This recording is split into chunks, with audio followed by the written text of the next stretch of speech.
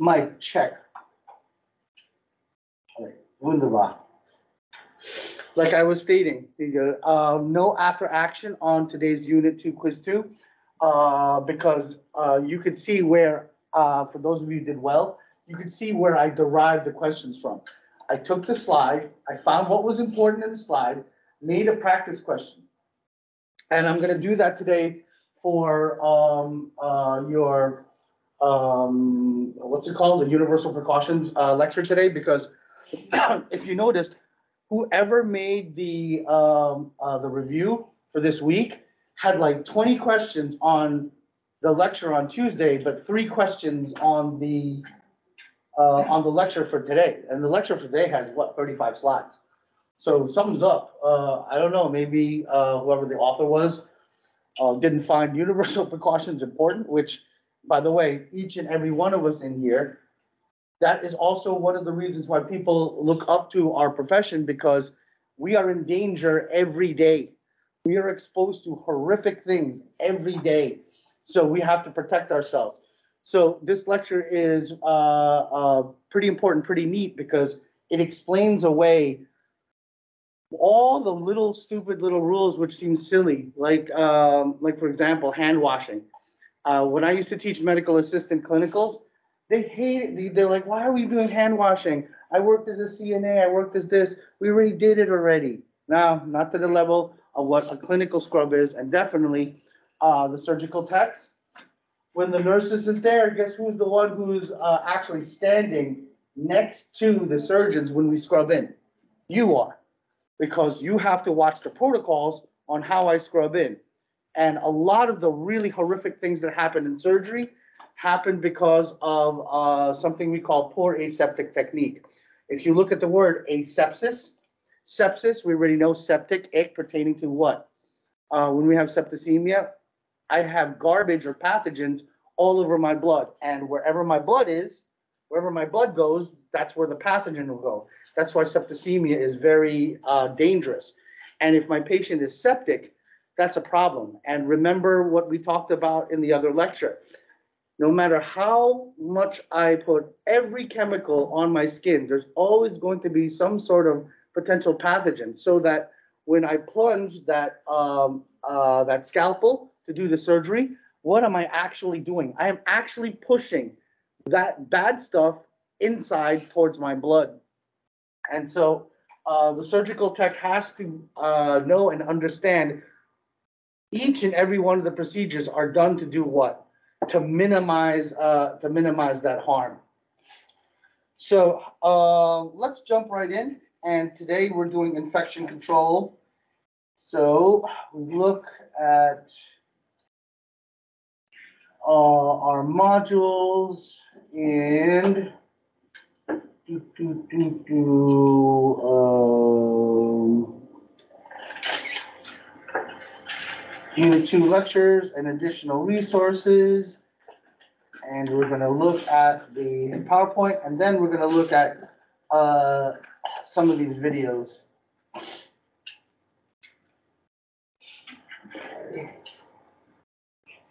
Alrighty, so infection control and standard precautions. Like we stated, you can never get rid of infection. You can never get rid of bacteria, viruses and whatnot. There's always going to be a potential for, uh, for a pathogen. But what we have to do is we have to do things to control it, to maintain it at a minimal, right? And there's also standard precautions, things we do like every day. And uh, another term for standard precautions is universal precautions. Universal, when you look at the word universal, uni means what? The prefix uni for medical terminology. Those of you who aced my course, uni means what? I'm, I'm riding a unicycle. How many wheels do I have? One, right? I ride a bicycle, I have what? Two. I ride a tricycle, you have three. So uni means what? That means there's only a single standard. That means that standard does not deviate. You don't do like one and a half or uh, maybe three quarters. You do that standard and that standard alone, right? So why? Because of microorganisms. Remember we talked about um, uh, laypersons say good bacteria, bad bacteria. Medical professionals don't say that. There's no such thing. It, it, it, it connotes that that the disease that you have has some emotion, like uh, they have some morality, like, oh, bad HIV. What virus is a good virus? Or, um, so when you look at it, you have to look at microorganisms as they become pathogenic if they're in the wrong place and in the wrong amount. So just like the example we had from last lecture, E. coli, Escherichia coli.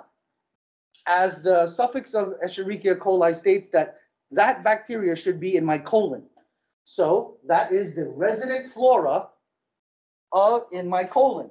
It's normal flora that's always present. It's supposed to be there. But if I take a broad spectrum antibiotic, what is what is it gonna do to that uh, normal flora or the resident flora? And flora means growth, right? It's gonna ruin it.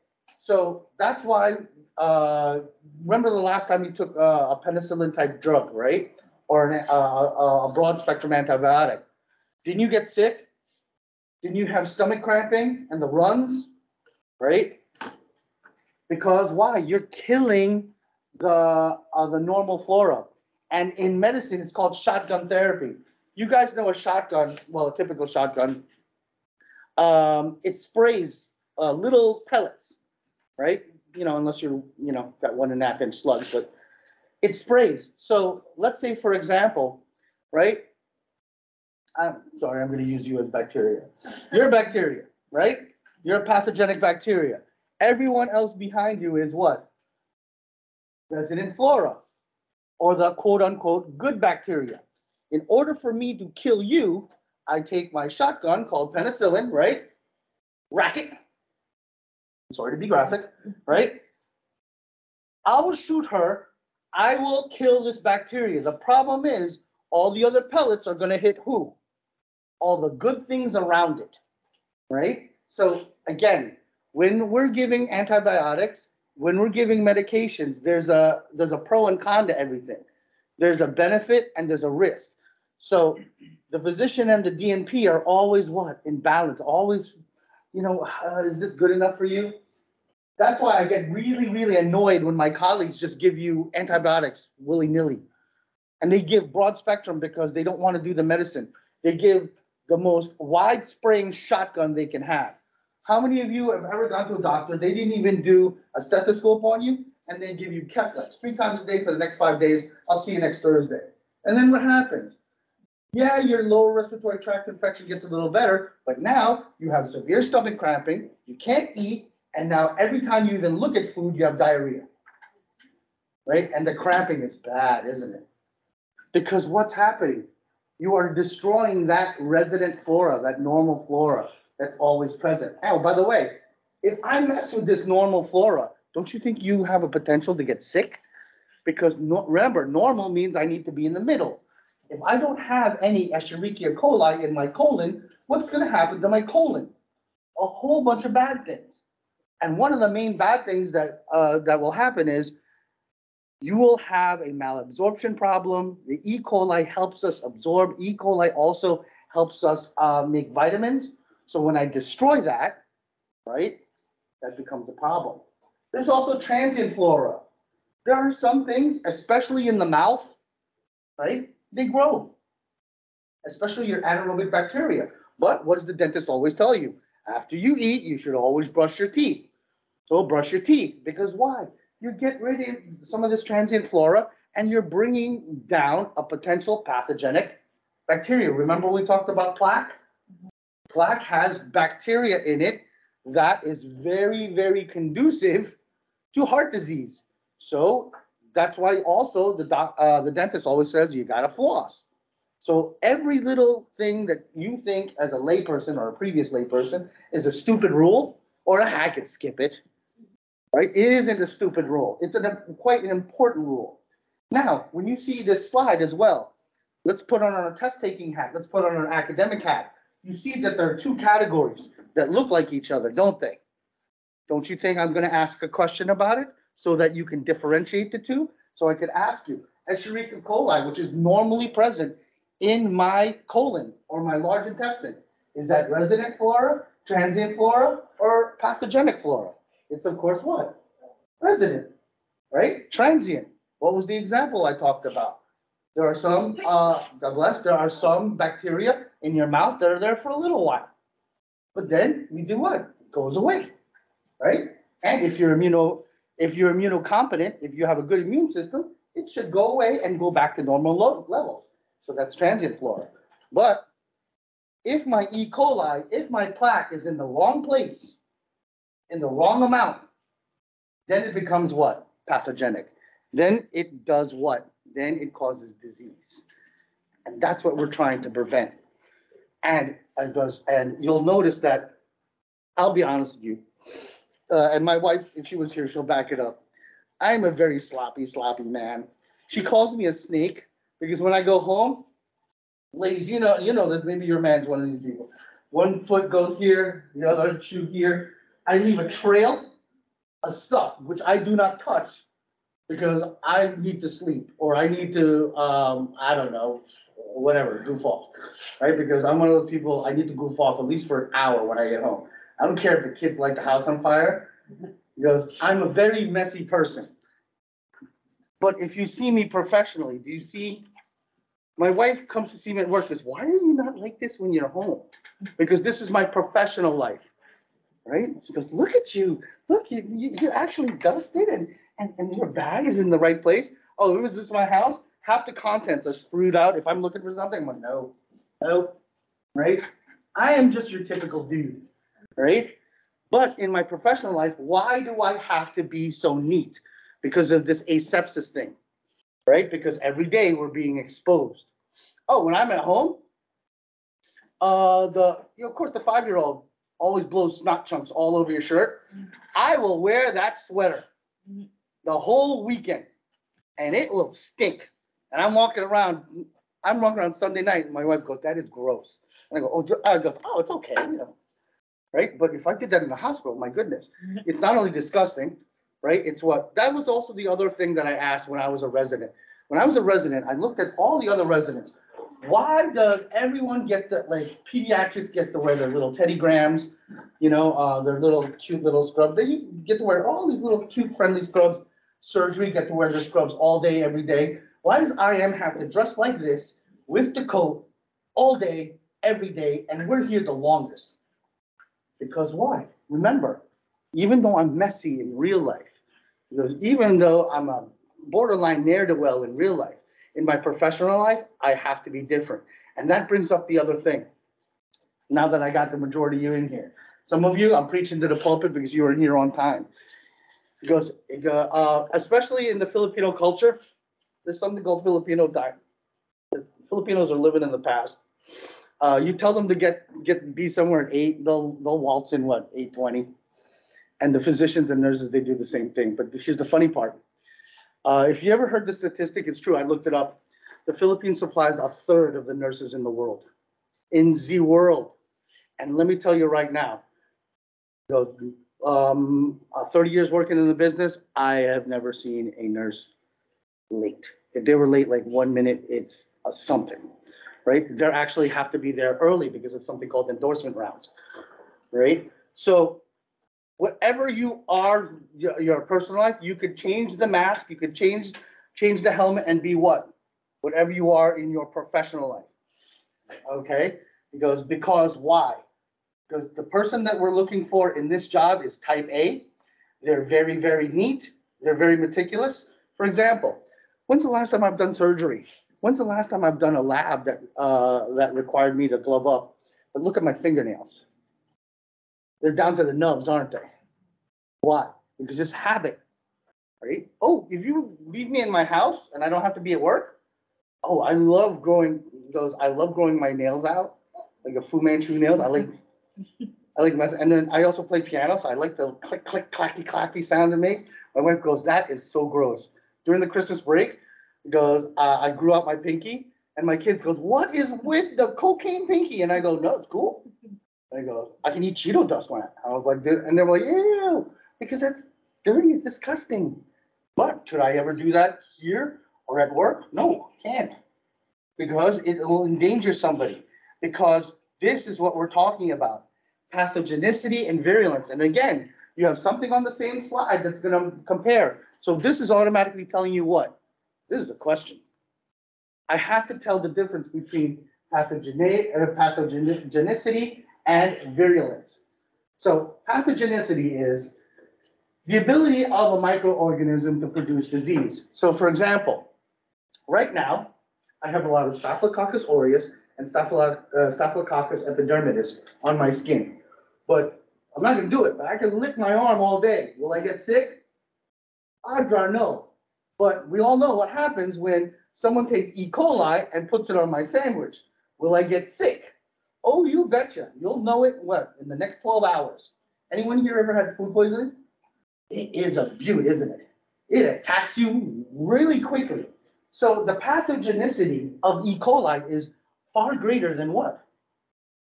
Than just Staphylococcus epidermidis regarding what? The oral route. Because you've seen kids, you've seen your kid, he's just like, they're like cats. And They're like licking body parts and they're, they're disgusting. Watched a five-year-old just suck on his toes while he was watching SpongeBob or whatever. I'm like, what are you doing? He's like, like it was a lollipop. Did he get sick? No, but that E. coli gets there. Now, the pathogenicity of Staphylococcus aureus in blood ramps up because we already know that staph infection inside my blood, that's septicemia, isn't it? Well, one of the septicemias.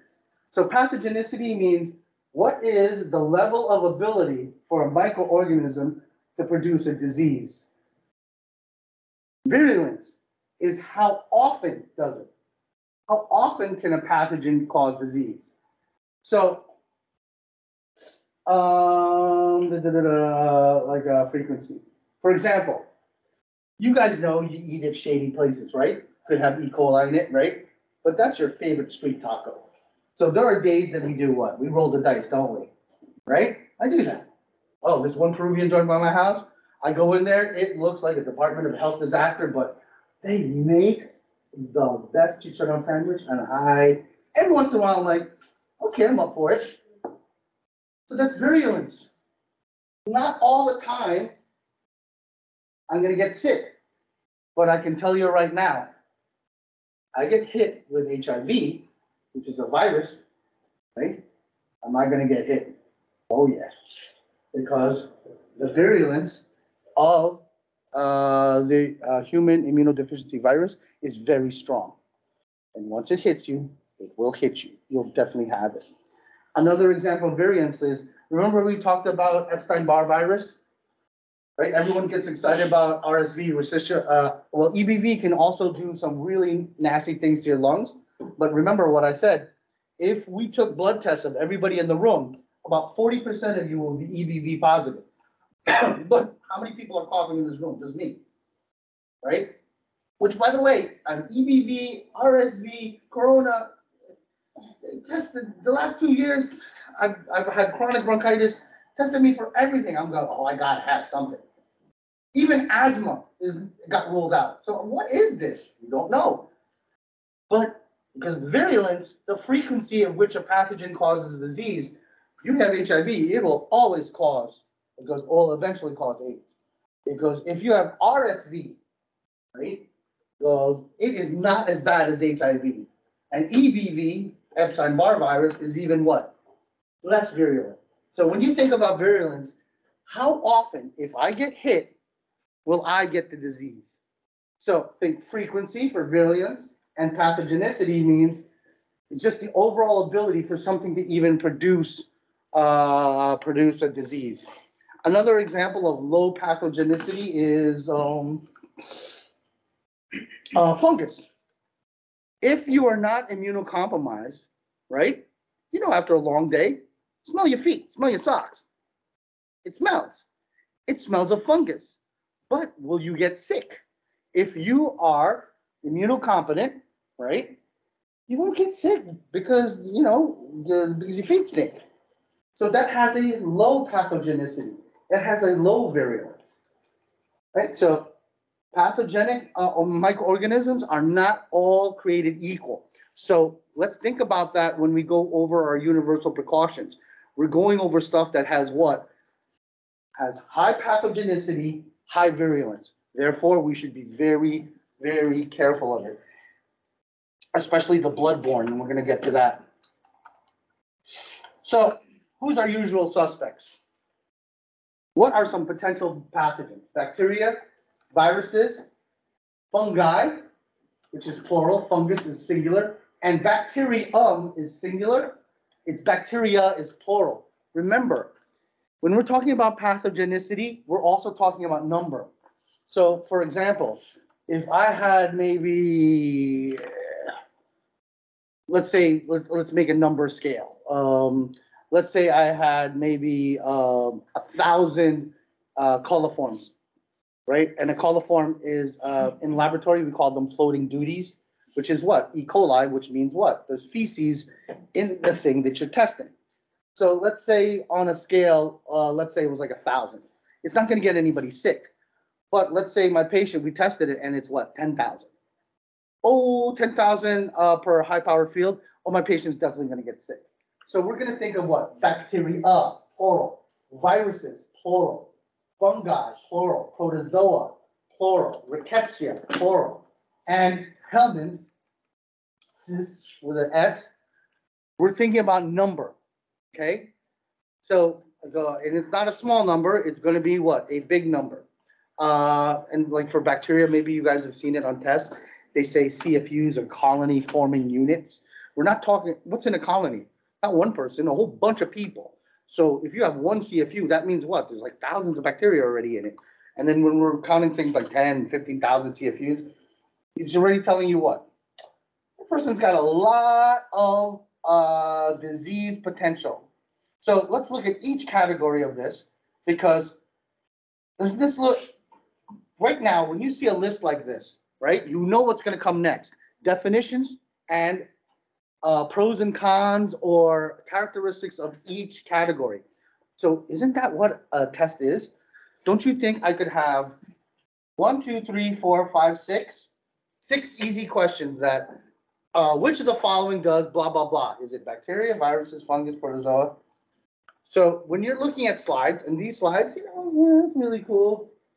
Reminds me of that movie Prometheus. Everyone watch that? You're into aliens and sci-fi? Looks like the dude. He was Jack though, wasn't he? Wasn't Natty. He was definitely on something. Right? If you look at that, it's already screaming blood. This is a multiple choice examination. So I'm bored, right? Which I typically am during lectures, right? And you can see how my mind wanders. Remember we talked about active listening? Right when I see a list, I'm already starting to do what?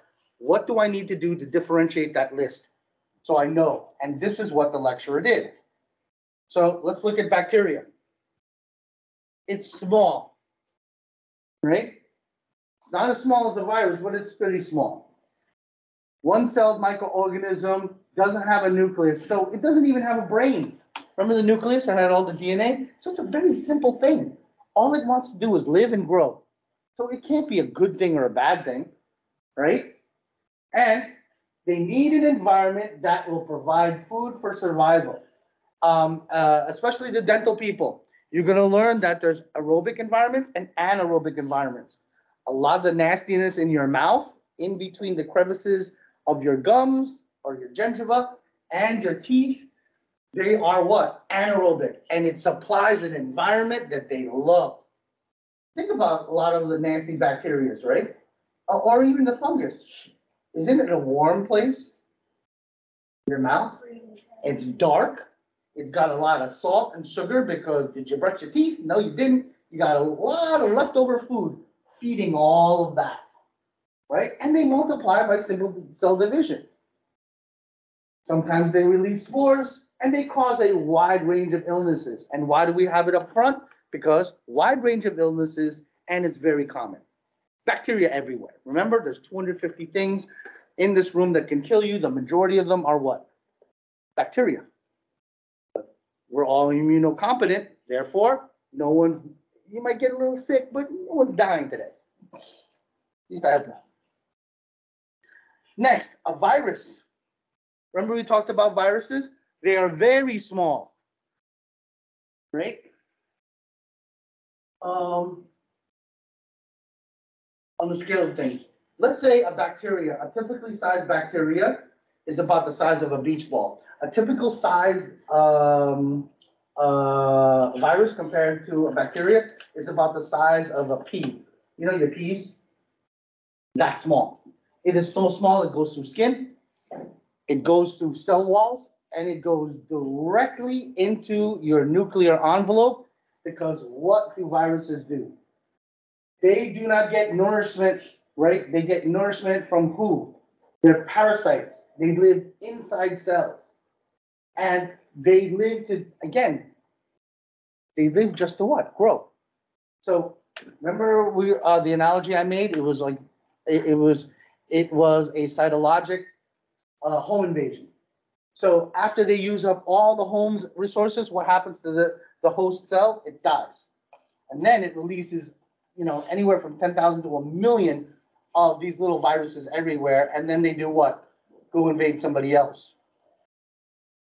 They have DNA and RNA, but what they really use is the DNA and RNA of the host um, nucleus. So the host nucleus, of course, like for HIV, who does HIV attack? Who do we know? Is it B cell or T cell? T cell. Which T cell?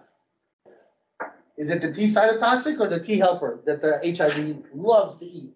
Not eat. It loves to go inside and do what? Use its DNA and RNA, right? Right? And then to do what? To just grow. That's all its function. But the problem is, the T helper cell or the CD4 plus cell is what? Crucial to my immune system.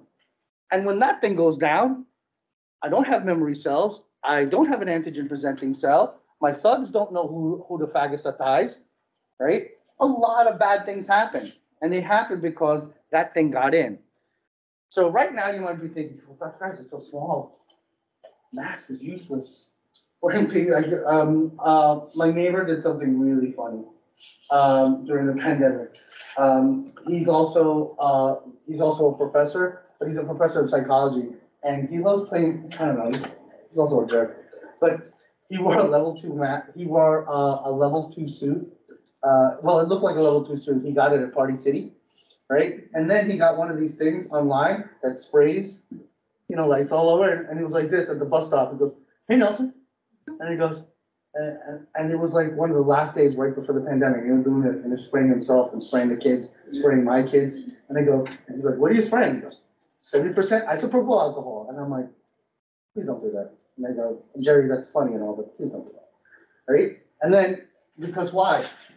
First of all, he didn't understand that the reason why we wear PPE is, remember the two hundred and fifty other things that can make me sick, lower my immune system? Like I said, forty percent of you already have Epstein-Barr virus already inside you. It's already there, but our immune system keeps it what? Non-virulent, non-pathogenic. But the second you get sick, what happens? Right, right now, my bronchitis is coming back. Why? I'm in the middle of doing my taxes. What's happening to my stress level? Pissing me off? Oh, this morning I was like, mm, right? So what's happening to my immune system? It's gonna go down. So what's happened to my bronchitis? It's getting what? Worse. So when you look at viruses, they're already there and they already can get inside. So I goes, so you're not wearing the mask to protect you from the virus. You're wearing the mask to protect you from the 249 other things that are going to lower your immune system. And we're going to be talking also about the different types of infections. You're wearing the mask, and we'll we'll talk more about that, right? That's why when that thing came out, wear the mask because you're saving my grandma. Am I really? Grandma's like hundred years old. What happens to her T cells? Remember? When is the height of your cellular immunity, your T cell? When you were what? 17, puberty. What happens after that? Mm, It goes, it goes down. Fungi. It's a plant. It's a fungus. Also known as a mycoses. If we remember um, our medical terminology, the suffix osis means what? Those of you who ace my class. Osis. What does osis mean? So if I'm psych, if I have a psychosis, is that a normal or an abnormal thing? Abnormal. So abnormal growth of fungus. Remember all the fungus in my shoe? Right? Right? open up my shoe, smells, okay, fine. Am I gonna die? No, but if I have fungus on my tongue, maybe you've seen it. Uh, you ever seen a patient, they have like, uh, uh, white stuff, it looked like they, uh, ate some oatmeal and it got stuck? Then you take a tongue depressor, you scrape the tongue and then they start bleeding. He goes, well, that's a fungus. My patient is immunocompromised.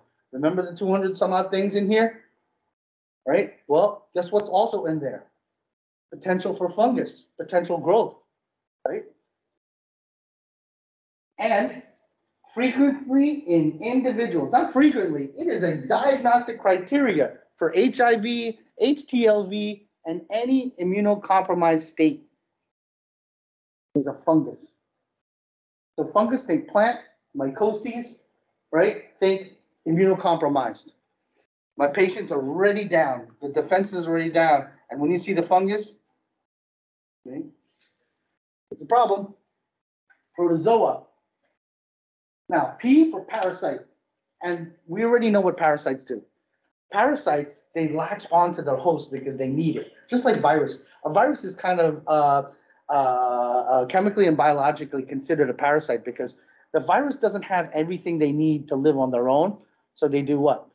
Those of you have some family members know what I'm talking about, right? They're hanging out on the couch. I got a couple in my basement, right? They're hanging out, and what are they doing? They're eating. They're surviving off of what? The host. Now, the thing about protozoa is they love dead or deca- decaying organic matter, right? So if you ingested contaminated food that, uh, and though, uh, how many of you here, uh, like worked at a deli or a restaurant or wherever, right? Remember when OSHA, Department of Health came in, they came in with their little thermometer guns and the little things, right? They wanted to check the soup. They wanted to check anything liquid. Why? Because if it is there for a period of time, things what? Decay and, and get dead. Well, and it's because of temperature. So if your food isn't, uh, I remember I worked for this buffet, it had to be like, we had, we had, we, I don't know what the number was, but I just remember it was lava hot. Like it had to like burn your tongue. Because you probably had, you know, E. coli, God knows what in it. Right? There's dead and decaying things in there and contaminated food, and uh, we're also gonna talk about insects as well.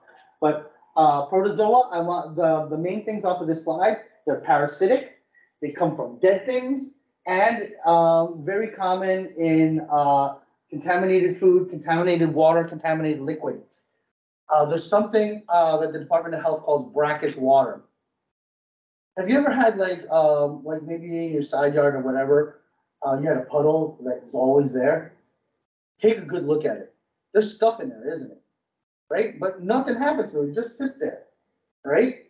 And Take a look at it. Also, put your nose by it. It Smells. Right? Like you won't smell it just by standing, but if you go real close, it smells, then you see stuff in it. Odds are, there's a little protozoa in it.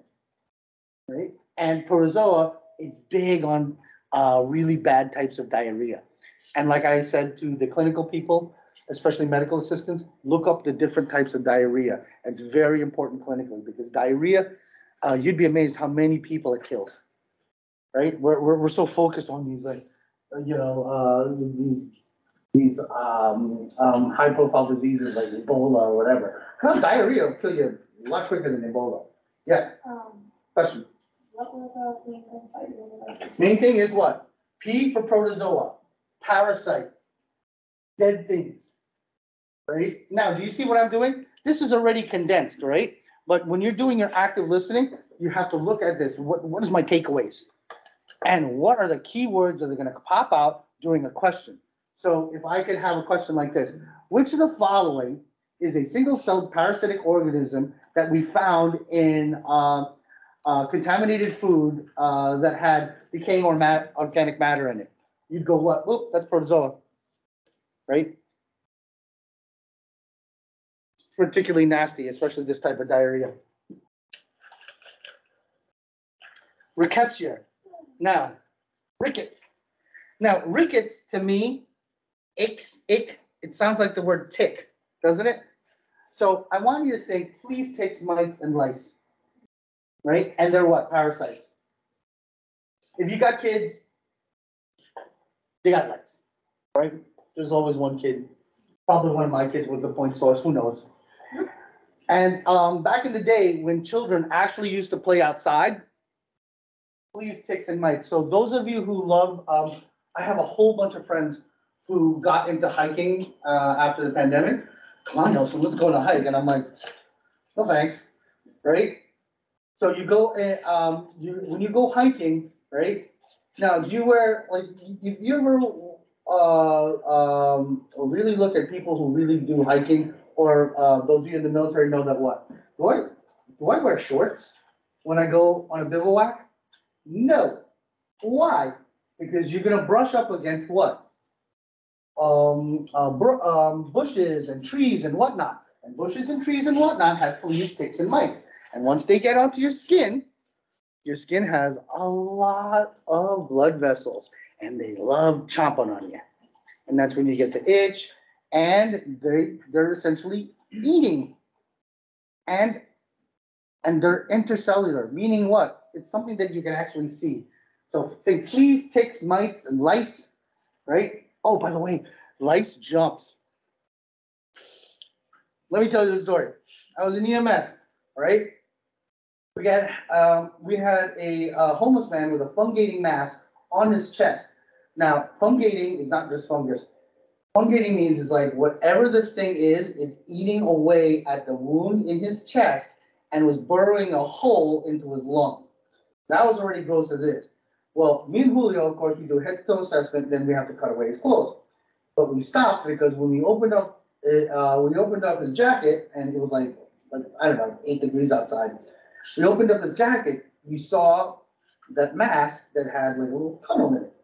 Well, the tunnel had buggies in it.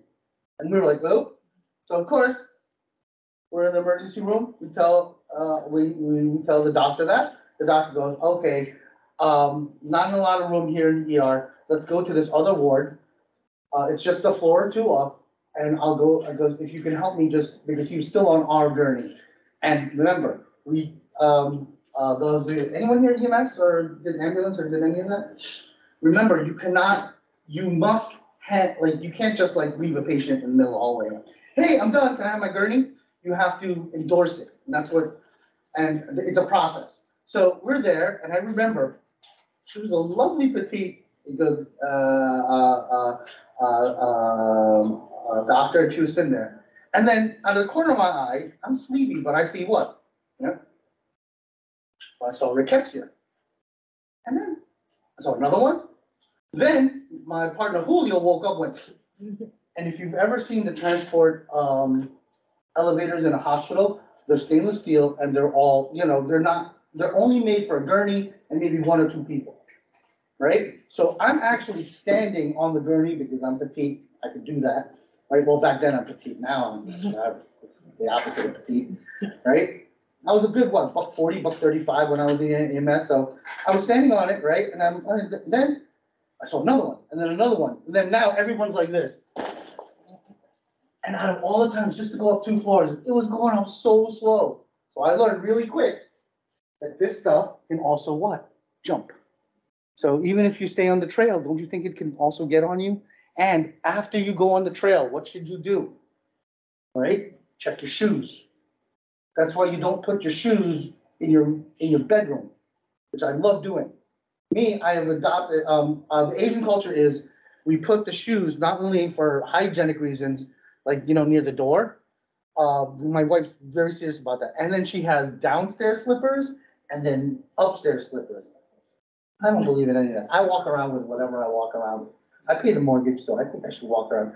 Well, don't you think those mites, ticks and the rickets can also stay on your shoes, on your socks and whatnot?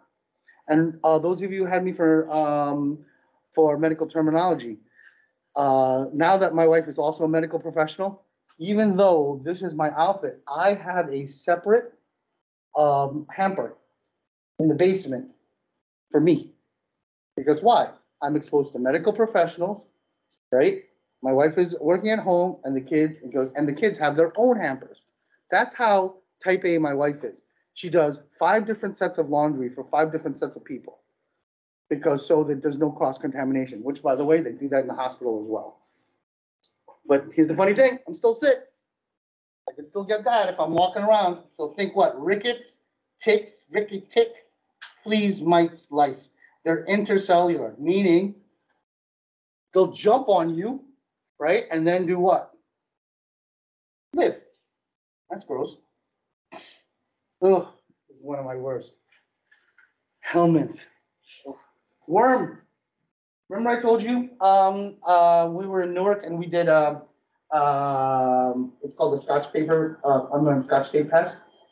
Scotch tape test, you take a tongue depressor and then you wrap around the sticky part and then Scotch, uh, Scotch tape, you put it on the butt of, uh, kids. Give it a minute, you're gonna get eggs. About thirty-five percent, and that's pinworm.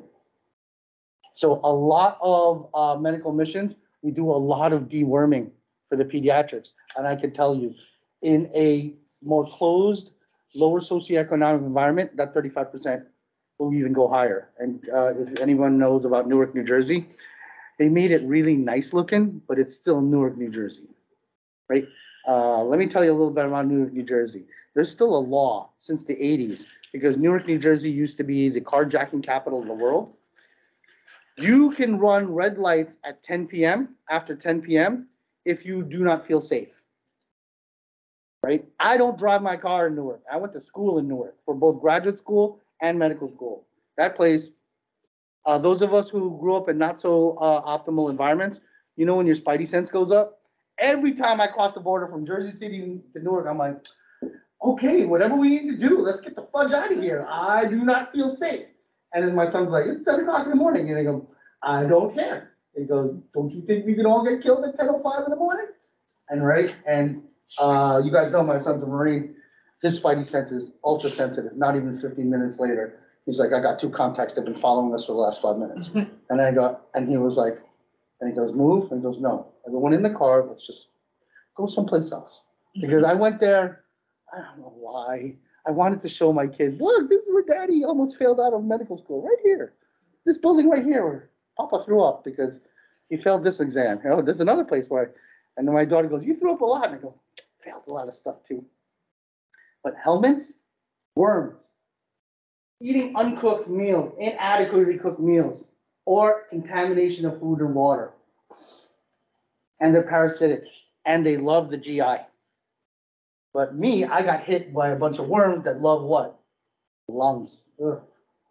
So that's what actually, uh, my pulmonologist is saying, that, um, because of years of smoking and, um, the damage in my right lung, that's probably what's causing my bronchitis and asthma-like effects.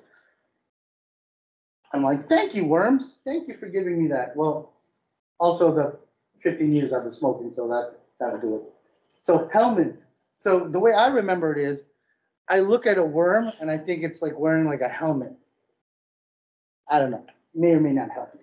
So if my worm, if my, if my patient has a parasitic worm infection, you're gonna think what? Right? You're gonna think helmet or helminthes. So if my patient is taking an anti-mycotic, they're taking a medication against what? Bacteria, fungus, or protozoa? Fungus.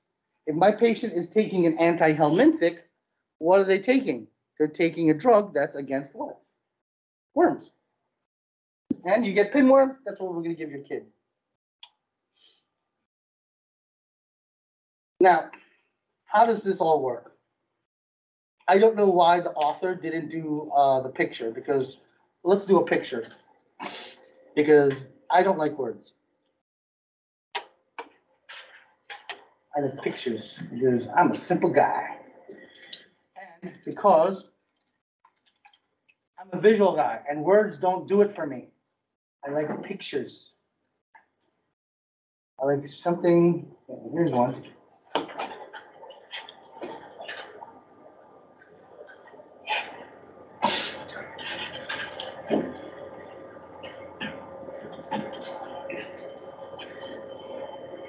Okay, let's go over this picture in context of, uh, uh, the, um, the words.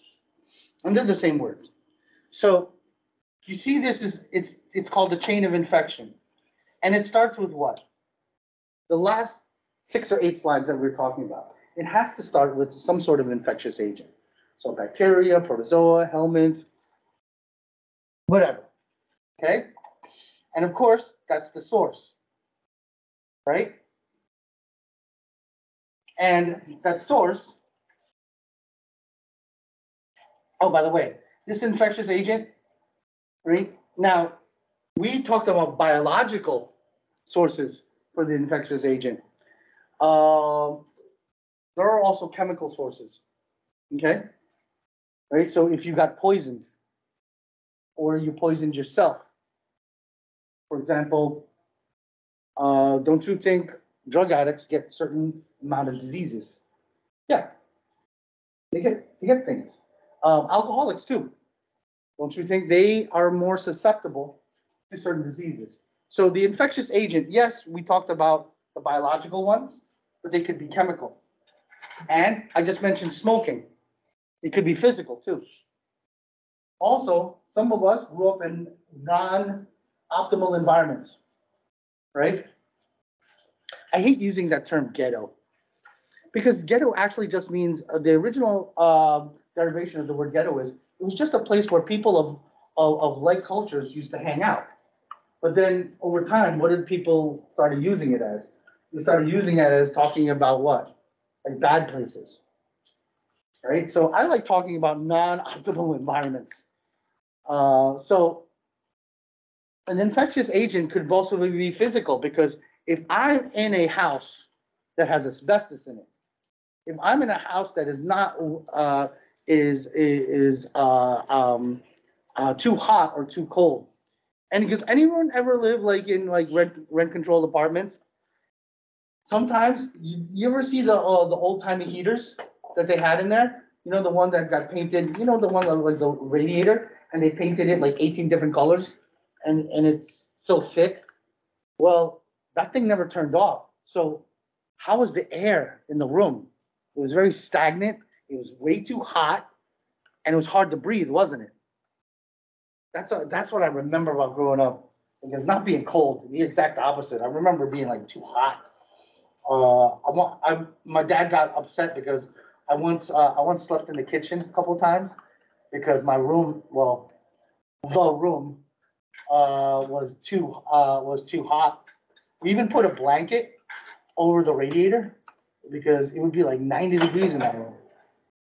Don't you think that stressor can then cause a point source of infection? Now, this source is called a reservoir. A place where the infectious agent, whatever it is, can survive, right? So, and we already talked about the mouth. It's beautiful, isn't it? It's warm, it's got salt, it's got sugar in it, it's dark, right? It's a wonderful environment. Now, this point source of infection is going to talk about um, um, um, something called fomites. Fomites is, it sounds like a bug, but it isn't. Fomite just means that Remember the, the five or six biologicals that we talked about, the, um, the ticks, the, the, the fungus or whatever? Don't you think they can fall on a surface? Right? And that surface, you touch it, then you do what? You touch your face. Did you ever, ever see that, um, that video? It was a meme where, uh, I forgot, it was a government official that said, goes, hey, we'll all be good as long as you don't touch your face. And what was the first thing she did? She touched her face can't not touch your face, right? You love your face, gotta touch it, it's scratching all the time, right? Especially those of you who are smokers, you definitely have a psychological oral fixation. I like smoking so much. Just thinking about it, delicious. So a fomite is a point source of infection. It could be a door handle, right? And, uh, don't wanna gross you all out. I'm gonna gross myself. Look at your mouse. There might be schmutz on it. Turn your keyboard over and tap it a couple of times. Oh, look at this. There's little stuff that comes out. That's a fomite. That's a point source of, a- of contact. So there could be things on there, bacteria, protozoa, anything that can do what? Further the chain of infection. And you could see that I'm always talking about the point source. So you have your infectious agent, where did that infectious agent end up? And then now, how did it hit my patient? Now, if you look at our patient right here, right? You can see that the patient was already sick, right, which we're gonna talk about here. Okay? But there's modes of transmission. So let's, uh, go to this. How did I get from the source to my patient? Well. Let's make this bigger. And again, you have this list. Doesn't, doesn't that scream, oh, that's a multiple choice question for this weekend, isn't it? Which of the following modes of transmission does blah, blah, blah, blah, blah? You have contact, droplet, airborne, vehicle, and vector. So, let's see, did they? No, of course, they're gonna let me do it. Okay, so what's contact? Contact transmission is what? We already heard of that in Corona Viridae, right? Like watch your door handles, watch your computers, your mice, especially in public pla- uh, public places. Um, and, um, uh, during my time, uh, the number one was phones. You still have phones and stuff at, uh, in the hospital, right? But now you could see in the hospital, you notice the mouse is, uh, covered in plastic. You guys notice also the keyboard is covered in plastic? Well, at least at the hospitals that I know of, VCU, I visited recently, uh, I know, but definitely, you guys know what I'm talking about, right? The little mouse and the keyboard is all in plastic. We clean that four times a day. And you will also see, especially with the latest, um, update in Epic. Epic is the database that, um, most popular database here in the DMV that we use for hospital operations. A lot of it, um, uh, a lot of it has lesser keystrokes and all mice. Like you don't, you don't type stuff in anymore, right? Um, and, um, they also are introducing voice recognition so that they can get the screens down faster. Because, uh, my wife works in healthcare administration, and one of the things that we want to do is what? Less screens, right? More capability of the healthcare administrator getting the information to either the insurance company or the patient much, much quicker, or the doctor much, much quicker. So there's less contact transmission. Another thing that Inova did was, a lot of their healthcare admins, they left them at home. More than forty percent of their teams are home, because you want them in a place that are, that is exposed all day, every day. But we as clinicians, we're techs, we're, we are exposed whether we like it or not. So we have to be aware of contact transmission. The next, droplet. Now, droplet is when you cough or sneeze on somebody. Did you guys ever wonder now, we- let's go back to the mask, right? COVID, a lot of the COVID was what? Coughing, right? Droplet infection. You guys noticed that what? When you sneeze, right, on, on your screen, what do you see? Little speckles. But look beyond your screen at the rest of your furniture. Is there any little dots that you see greater than a meter out from where you just sneezed? No. Now, why is this? And let me show you right here. The heavy droplets will fall right here. So remember we had six feet apart? Because science tells us what? Droplets fall where? Three to four feet. So what's the best? You being away from me at six feet. What's also best? I wear a mask. So if I'm talking, right? Ever have a close talker? Or somebody like talking to you and you're like, hey, hey, you can feel their breath. You can feel their breath, right? You, you can, th- there's droplets falling on you, right? So that's droplet infection. And droplet infection is relatively close. It's like three to four feet. That's why we wear the mask. Right? Our PPE, our personal protective equipment, and that's why we stand where? Six feet away. And if you look at the Department of Health, even though, you know, uh, all the protocols are, are, are decreased, if you drop by, uh, Department of Health offices, we still have all the plastic glass up. Because even though we're not masked up, the plastic glass is still up. I'm still talking to somebody through what? Through an eight, eighth inch piece of plastic. Why? Because if they talk at me, cough at me, sneeze at me, what will happen? It'll hit the glass, not me. Right? And I'm, when you look at the table, look how far they are. When they're talking to you, they're like leaning over the table like this. If you ever went to the Department of Health, the table's like this big, things this, and and you can see now why. It's not paranoia, right? It's to do what? Break droplet transmission. And you have one poor soul, like every four hours, doing what? Wiping down everything. Um, now, droplet transmission, you might, you might confuse it with airborne. Droplet and airborne are not the same thing, right? Now, remember, droplet, think what? A tube, short. Airborne is what? It travels. The vents. You guys know that being in a closed office is the worst? And where are we all day, every day in the hospital? Even if we had HEPA level six, um, uh, stuff in the hospital, everyone still gets sick, and we're gonna talk about that. Right? And that's what? Airborne. So think droplet, tube. I'm talking to you. It happened where? Right here. But airborne, and here's a classic example of airborne. There's something called Legionnaire's disease. Uh, you know the Legionnaires, they, um, uh, they, they- you know, they're a group of dudes and, uh, they're a social club. They were in Chicago and they were in a, you know, big banquet hall. And then one of them ended up in the ER because of lower respiratory tract infection problems, then another one, then another one, and then those dudes died. Now it became a what? A scary health thing, but they found out that the air conditioning system wasn't cleaned in a while. And those of us who have like a really cheap air condition, you notice that there's water at the bottom of it? Mhm. And remember what we said about brackish water? That water gets contaminated and now it's in the vent and now it's traveling far. It traveled all up and down 12, 14 floors or whatever, how big, um, uh, um, the banquet hall was.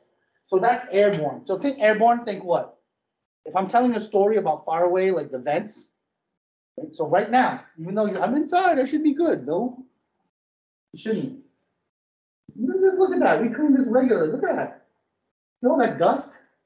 All that stuff. We, we clean this so much. Right? But again, right? Still can get it. Now what's vehicle? Vehicle doesn't mean your vehicle. Vehicle means that something carried it in to your proximity. So, um, so for example, you could get some ticks from your dog or from your, from your cat, right? Um, another vehicle is what? The kid, isn't it? My house, we always look at the kindergarten one. Because we call him patient zero, right? Every time he has sniffles or starts coughing, right, we all like, shove him in the basement. He goes, Edison's sick. I'm like, oh damn, because what's gonna happen in the next couple of weeks? The whole house is gonna get sick. So we scrub them up and, and five-year-olds, do you think, this is what five-year-olds do. You ever see them do this? And then they walk around with snot and God knows what on their hand, and then they're touching everything. Isn't that a fomite infection? Mhm. Right? They touch this. He loves touching my computer, even though he has his own. Right? Loves my DJ equipment. Doesn't really DJ, just likes to spread mucus all over a two thousand dollar controller. That's okay. their I am too. hoping it breaks because I am now insured. That's why you have your glass of wine, beer, or sangria next to my turntables. Please spill it. I am waiting for it because I am insured. Get a new set of turntables. Some dude even put it right there, right there, right next to the needle. I'm like, I mean, helping it, trying to, man, nothing happened to it. So the difference between vehicle, right, something brought it in, right, and vector borne, a vector, I want you to think bugs. Because what's a vector? A vector is a mathematical term that means something is going in a direction and it has some speed. And isn't that a bug? Right, like a mosquito, it's going in a direction, most likely towards you, and it's coming at you at speed. So stuff like malaria, Ebola, that's because of what? Uh, of, uh, a vector, which is, uh, the mosquito. The Mosquito isn't sick. The mosquito inside its little proboscis, which is that needle nose thing that they have, bit me. What year was that? Ninety-six. Next thing you know, I got chills, I'm all messed up, my liver's all messed up, because why? So that was the reservoir. So, to recap, modes of transmission, contact, of course, is direct contact. I touch a fomite or something that got infected. Droplet transmission, think what? Sneezing, coughing, within three feet. Airborne, think the HVAC system. Vehicle, something brought it in, whether it was person, place, or thing. But vector, I want you to think bugs. A vector, something that flies. V. All right, it is now nine sixteen. And, oh, do, do, do, let's take ten. And then we could talk more about this thing.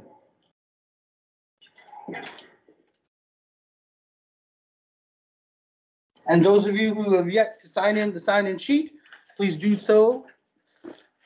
How did it get into my patient? So these are some ways. One, remember the story I told you about? How my wife always complains, I smell like this, I smell like that, and I didn't do anything, promise. Right? And I can't be a business person if I do these things.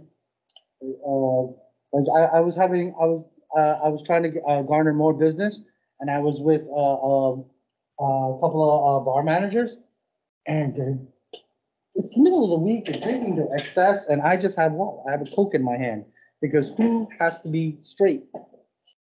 Now, if I keep on, like, if I drank something or get exposed to something, I could it out in my skin and it could come to my skin. And that's why, uh, you know, that I'm not a big fan of surgery because what do we do in surgery? Don't I cut your skin? Don't I now have a beautiful portal of entry for infection? That's why we give you prophylactic um, antibiotics because I know I'm setting you up. Respiratory tract. That's also another reason why I give you broad spectrum antibiotics. And for a lot of surgeries, what do I do? Don't I tube you? Right? I put you on mechanical ventilator so I can control what goes in, what goes out. Genitourinary. What else? What other tube I put in here for the surgical techs in the room?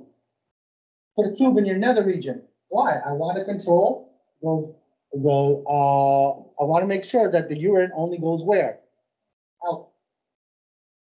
Gastrointestinal, right? I have to be careful of what I eat. Circulatory. Remember we talked about sepsis? If I get bacteria in my blood, where is now the bacteria? It's now everywhere. That's why septicemia is very scary. And of course, in obstetrics, if mommy has it, what are the odds baby's gonna have it? That's why mommy has to go for prenatal care. It's my biggest pet peeve when I was in obstetrics. That a lot of my deliveries, I'm probably the only internist you know who's delivered more than sixty babies. Or sh- even remotely that many. Right, I have what, 62, 60, I forgot number already. It changes from term to term. I gotta check my, my records. But transplacental, or placental. Your placenta is, uh, the liaison or the go-between between mommy and baby. So anything that mommy's doing, baby's doing, right? And I find it amazing how powerful, um, illicit drugs are because mommy knows they're bad for you. Right? Mommy knows it's gonna be bad for baby, but mommy does it anyway because does she have a choice? Uh, that's the one thing I learned about addiction is does your patient have a choice? No. It's like asking us, do you have a choice between eating or dying? That is, it goes, that's already locked in. So if my patient's HIV, I gotta beware, baby might be HIV. If my patient's on, on, has, uh, an alcohol problem, I'm gonna look at anything that goes where? Across. Now, the next part, next one, we gotta talk, after means of entry, we have to have that susceptible host. And remember, we talked about it. We talked about the host has to have their defenses down. Because right now, two hundred fifty things can kill us in this room, but all our defenses are up. But what happens when our defenses are down? Then the agent that's either already there or the agent that's waiting outside, then they can come in. Immunocompromised. Right? That means anything that will lower your immune system. Do you know we have millions of people on antidepressants in this country? And we already learned from anatomy and physiology one, because of cortisol, if you have extended stress, which is like depression, anxiety, which we got tons of in this country. Don't you think that's gonna lower their immune system? Don't you notice you get a cold right before major exams? I will always get a call the night before the grand practical for nursing. We have a grand practical, we're responsible for, um, a little under two hundred, uh, anatomical items, and it's an oral examination. And it's lightning, it's fast. Five, six minutes, you have to show me a ton of stuff. So it's kind of stressful. What happens the night before? I always get in a class of 20, two or three emails, stuff, oh, I'm coughing on this, and I'm like, okay, just take your exam, then go home. "Oh, I don't think I can make it, and then, then you got a zero, with twenty percent of your grade, I'm very sorry. When they come in, they're all coughing, and they're not lying, why would you lie to me? And if you lie to me, I don't care, right? Remember my job as a facilitator. I am just a glorified secretary. I just record what you either did or did not do. But you get compromised, very easy. I have one of my seniors. Um, uh, it's called clerkship syndrome. Clerkship is fourth year medical school. That's when all these, and especially in, uh, the month of, uh, the month of love and Valentine's. This particular nurse candidate fell in love with another nurse. The other nurse was smart enough, goes, hey, no, I need to keep my head in the game because we're seniors. We need to graduate. I need to take my NCLEX. But when she stopped the relationship, what happened to the dude? Messed up. And he got sick. And he was already sick. He had this GI problem. Now it's worse. Now he came up to me yesterday. He's crying. He's upset. Oh, my GI problems. This, that. And I go, oh, you set yourself up. You're not compromised. Right? And now, what's his health? It's now what? Down here. In a time where he needs it the most. So those are characteristics that influ- influence susceptibility and the severity of the infection. And now you can see why, another reason why medical professionals try to, like, even though we wear our heart on our sleeve, we try to keep our emotions in check. We have a very stressful job, and if I get that, if I let that stress get, get to me, what happens? My adrenal gland makes more cortisol. Cortisol decreases my, um, inflammation. And inflammation, is that innate or adaptive? You're born with inflammation. Think inflammation innate, you're born with it, right? So if I'm decreasing my frontline inflammation, what's gonna happen? I'm gonna get sick. So then it goes round and round, and this susceptible host then spreads the infectious agent, then to another source. Do you see how it goes? So what do we do? You see where we break the infection? What do we do to the infectious agent, right? I test. That's what internal medicine, uh, the Department of Infectious Medicine does at least twice a day at the hospital. We test all the areas for fomites. If it lights up, guess what? We shut down the area, we clean it, and then move on with our day, right? And then report it to the rest of the, the faculty who are working there. Uh, source, right? See here, wipes. I have protocols, hand washing to prevent the infection. I make sure not only staff but patients wear masks, especially if there's a droplet or an airborne infection uh, suspected. Mode of transmission, hand washing, six feet apart. Means of entry, again, hand washing, PPE. And last but not least, I already have a susceptible host. I'm gonna inoculate them, I'm gonna do meds. Now, why inoculate? What's in the vaccine? Antigen, right? That's gonna make what? Antibodies. So that now, you see how all the protocols are there in place for a reason? And now it makes, now all the rules make sense. And if they all make sense, then you won't miss them. So you have cleansing, disinfection, and sterilization, and their levels. What does this mean?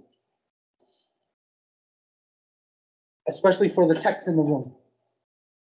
The cleansing level is just what? Soap and water, scrubbing with a neutral pH solution. You gotta take the schmutz off of it, right? When you look at a, um, uh, an instrument, it should be what? Clear of, those- any little crust or anything like that. Yeah, because you, you ever see that lady in your car, maybe sneezed like a day or two ago, and then you look on your dash and like, what is that? Well, that thing was once wet, now it's dry, looks like a crumb, which probably came from your lung. A little piece of mucus, it's gross. So what do I have to do? I have to actually scrub it. So if you're asked to cleanse something, you scrub it with a neutral pH, uh, usually some, uh, and, and for your typical office setting, it's usually just soap and water. Now, what's disinfection? Disinfection is when I let that instrument or let that area soak in a specific chemical. Now it's the next level, right? You're gonna be using stuff like Cidex and, um, all these uh, other chemicals that I totally forgot. Uh, since it's, it's been like eight, nine months since I, I taught this class. But even medical assistant, so when they say disinfect the room, you're not just using soap and water or just light, you know, Lysol. You're, you're doing what? You're using chemicals um, that will clean stuff, and like uh, bleach. So think, think what on the disinfection level, chemicals. And last but not least, especially for the techs and the medical assistants in the room, you're gonna learn how to use an autoclave. Autoclave is sterilization. Now, sterilization doesn't mean that I'm killing everything. No. Right? That means, um, if you, and this is an autoclave. Let's show you guys. Like I said, I love pictures.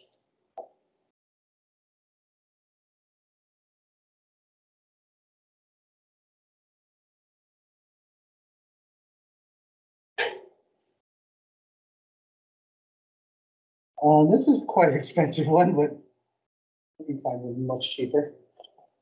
But you put it in there, essentially it's an oven. It's a steam oven. It's under pressure, by the way. And you see this latch here? You Do not open it like this because it's under pressure.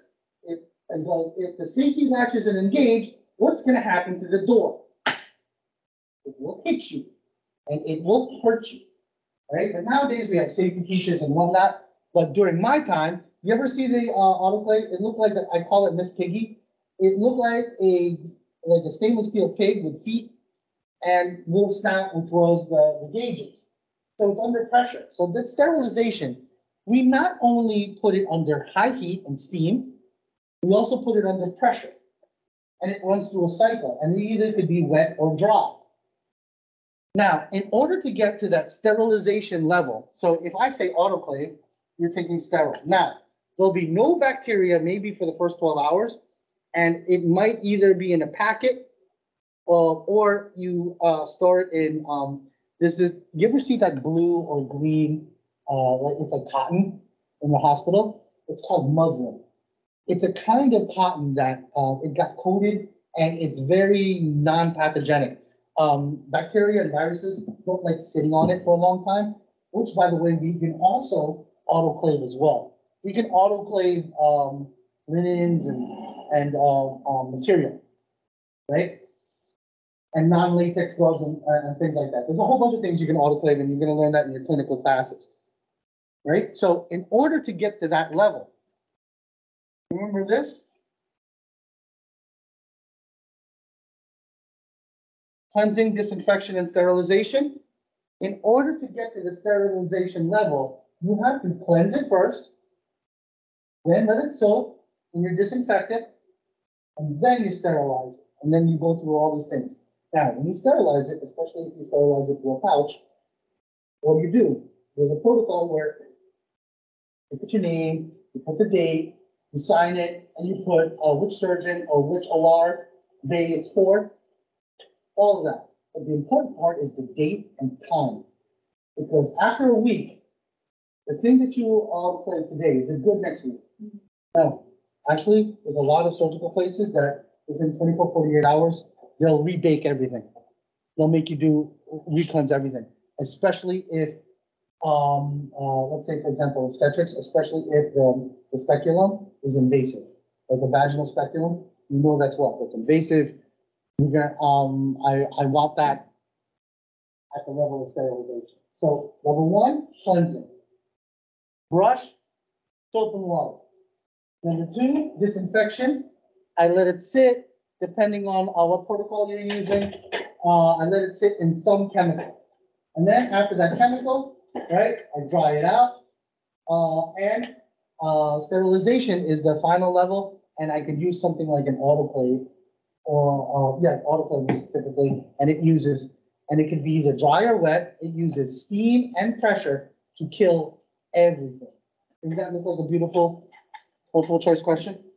I could explain the situation and you'll tell me what level of disinfection it is, I mean, what level of, uh, uh, of, of, uh, cleaning it is? Is it a cleansing level, disinfection level, and sterilization level? And remember, to get to the sterilization level, oh, used to kill me when people skip this part. If you don't get the schmutz off of your, uh, surgical equipment and you bake it on there, uh, by the way, how much does, uh, um, uh, you know, forceps and all those cost. Especially if they have the gold ring around it. Um, a lot of surgeons, gold is a much softer, um, material, so they can feel it better. They have a feel to it. I'm not a surgeon, so I can't tell the difference. Ninety-nine cent versus nine hundred ninety-nine dollar forceps, they feel the same to me, but, uh, my surgeon buddies tell me, no, it's really special. Oh, by the way, when you clean these things, do you, do you clean it like you clean your spoon and fork in your house? No, you clean it what? With care, right? And do you do stuff like this? How many times I've seen a tech do that or a medical assistant do that? You're killing me. It's a hundred fifty dollar forcep and you're doing this. Gonna, it's gonna tick me off. And I'm gonna simply find somebody else to, uh, to have your job, but you do what? Take your tongs, you nicely put it in the tray. Then the next one, you nicely put it in there. You have the timer for your disinfection. You follow all the protocols of sterilization. How many times, even in training, right? I tell them, hey, watch the safety door, watch this, here. And then what? You're a nice little catch, thank goodness, uh, safety doors work, right? Because the person is not following the instruction. So proper hygiene all the time, clean your supplies, clean linens, and we can uh, sterilize them as well. Um, housekeeping. Uh, I don't know if they call them, call it that anymore. I think they call it environmental services or something like that in the hospital. Do not look lowly upon them. They're the people who empty out the trash. They are the people who take all the biohazardous material, recycle it, and also they take all the linens and keep them what? Sterile or semi-sterile. They're very important, just as important as uh, everybody else. Now, what's another way to maintain uh, portal of exit and mode of transmission? Now, what uh, more clinical people, the medical assistants in the room, what's the difference between a bandage and a dressing? What's the difference? Besides just the word. Dressing has what? Is the what? The thing that's touching the wound, right? And what's the bandage? The bandage is what keeps the dressing in place. This has to be replaced what? Every twenty-four hours. Or, heck, let's say it's not twenty-four hours. You're the tech, you come in and you see either blood or pus leaking out of it. You go, no, that's nasty, and walk on with your day. No, note it and then do what? Find the person in charge, deal with it. Because isn't that a point source of infection? How many times? Not blaming my surgical brother. Yes, I am. How many times I'm IM, internal medicine, we do post-op. We watch the patient. We're supposed to kind of share the, share a little bit of the activities with surgery, but surgery is more about what? Pre-op and peri-operational. Right? So post-op, I am, looking on the, how many times I'm like, I see this purple jelly-like smelly and it, and it smells, it's not smelling as a bad smell, it actually smells like flowers. Guess what? That's an infection, right? I remember the first time I saw it in third year medical school. I'm like, that's a pretty color. It's like jam. And then the nurse went, damn it. And I'm like, oh, something wrong? Well, of course, did I study? No, because it- unless it looks like blood or pus, I don't get excited. But now, right, after two, three years of surgical rotations, now I know. I see any odd color. What do I do? I investigate it, I note it down, and it smelled like, yeah, it, it kind of smelled like, uh, you know, lilac Febreze, but really light, and it was like purple jelly like, and then had some blood on it. But Then that was what? That, that is a Pseudomonas uh, um, uh, bacterial infection, and it's a common infection in surgery. But, uh, if, but like I said, if I don't see pus or blood, I don't get excited. But now I know. So maintain all the dressings that goes, goes, and the bandages. The dressings, the thing that is directly on the wound. And also, there are some wounds that don't require dressings. There's some wounds that we want to keep open, right? So they can breathe. And sometimes there's a rotation of that. And the bandages, remember those are clinical people? Not too tight, not too soft. Always interview your patient. Hey, how's it going? Ask them to wiggle their fingers, like if you're putting the bandage on, and check for capillary refill.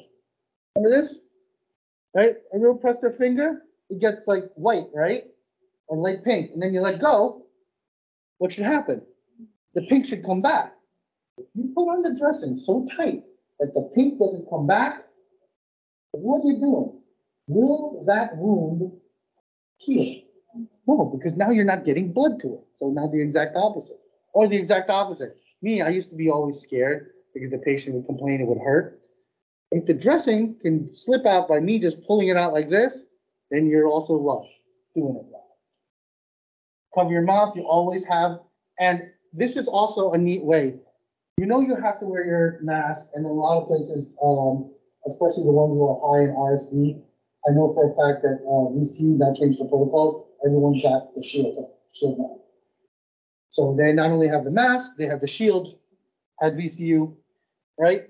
And what are we doing? We're against droplet infection and, and, and I told you guys this, well, I told the medical term stories. Remember I told you guys? My colleague that one time, she didn't wear her mask because, um, mommy didn't have any prenatal care and baby was coming out really fast. So she was just wearing the smock. She gloved up and went like this. But what happens sometimes when mommy pushes? Stuff comes out and stuff flies out. So all the afterbirth and all that stuff went in her mouth and her face. And she was there. Now, can she continue? No, now she's a of infection. She has to step out, right? This is also the other bad thing.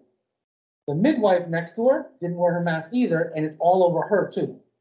So I'm walking by, they're like, no, no, no. I'm like, man, I just delivered. Oh, now I got it. I learned that lesson. I always glove up, I mask up because what? How many times? Right?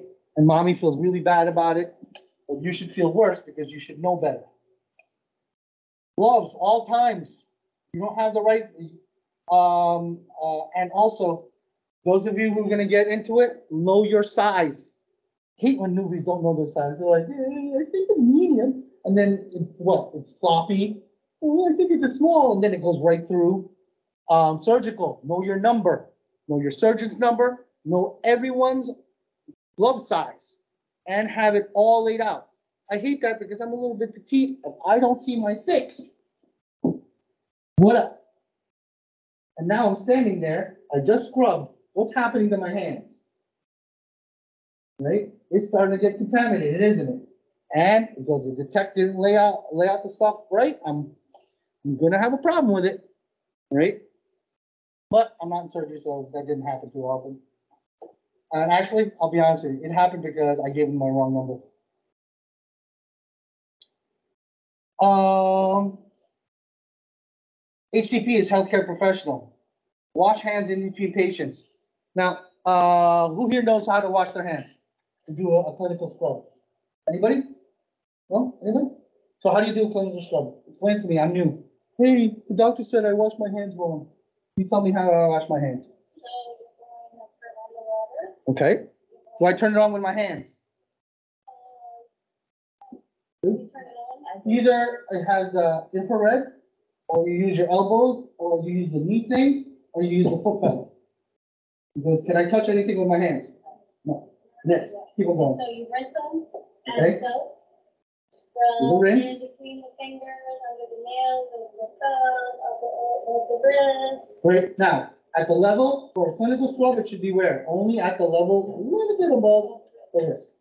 Alright, and whatever you do, systematic. What you did on the left, you did on the right. Now, here's the crucial part, how long?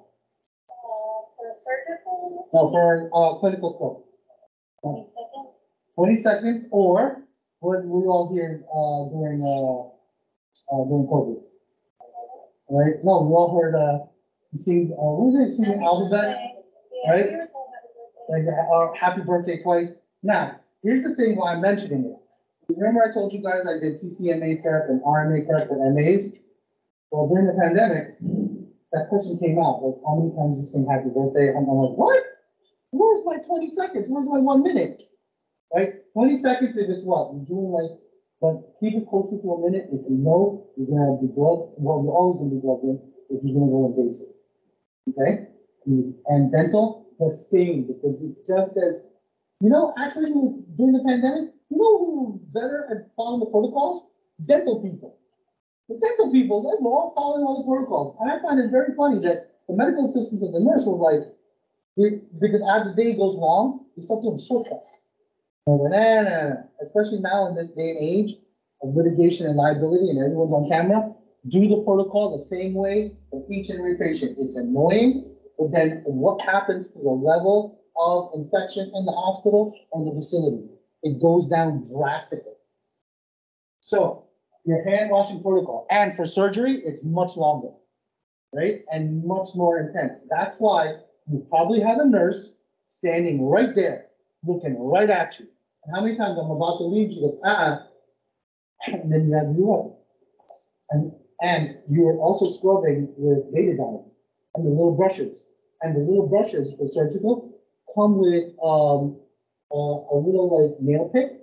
Now, even if you have nothing, nubs, you're supposed to go under your nails, and this is called your lunula. You're supposed to scrub in between there as well. And then do everything, and then you look at the nurse, and she goes, what? And then you go, what? You just it, and then you're rinsing out, you go, mm, okay. No. Because we have, and goes, and sometimes it's a tech, right, but either way, it goes, uh, I, if it's surgical, it has to be a far greater level of asepsis than clinical, right? So think clinical, twenty seconds or a happy birthday song. And if it's really invasive, you're doing something invasive like uh, for obstetrics, like a speculum, and you know speculum, I have to put it per vagina. I'm putting something inside of you, or if I'm swabbing you, uh, uh, make it more than twenty seconds, uh, make it closer to a minute. Question? Okay, well, I might have an answer that's, okay.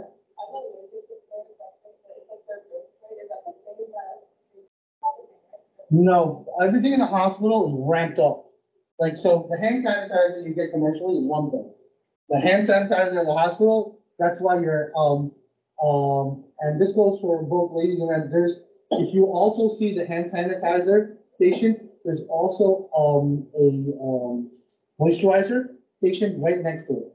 I used to be one of those people who ignored it all the time, and then what happens? In the course of the day, your hands get really dried out. And then by the time, you know, you start seeing little cuts and little stuff, right? Um, a moisturizer. Now, if you're allergic to certain things, that has to be communicated with the chain command. Um, um, before you guys work in any facility, there's a, um, um, there's an onboarding procedure where they ask you all these questions, what are allergic to? And, and also they ask you things like, how much can you carry?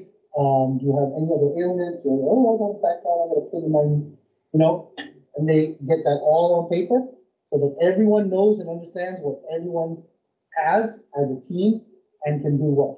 Their job. So if you're allergic, because I had some people who are allergic to this, that, and the other thing. Um, um, and what's neat about Epic, right? It'll warn you.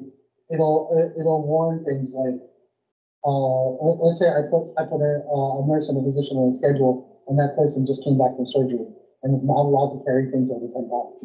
Right? I go, oh, it'll, it'll set a flag, and then, and I go, why? Then you click on the flag, and it'll tell you, oh, this person can't, is not allowed to handle this, that, the other thing. Right? Um, it's- someone put a flag on me, uh, goes, uh, Dr. Garais has a, has a problem with substance abuse patients, and I'm like, come on, man, that's it.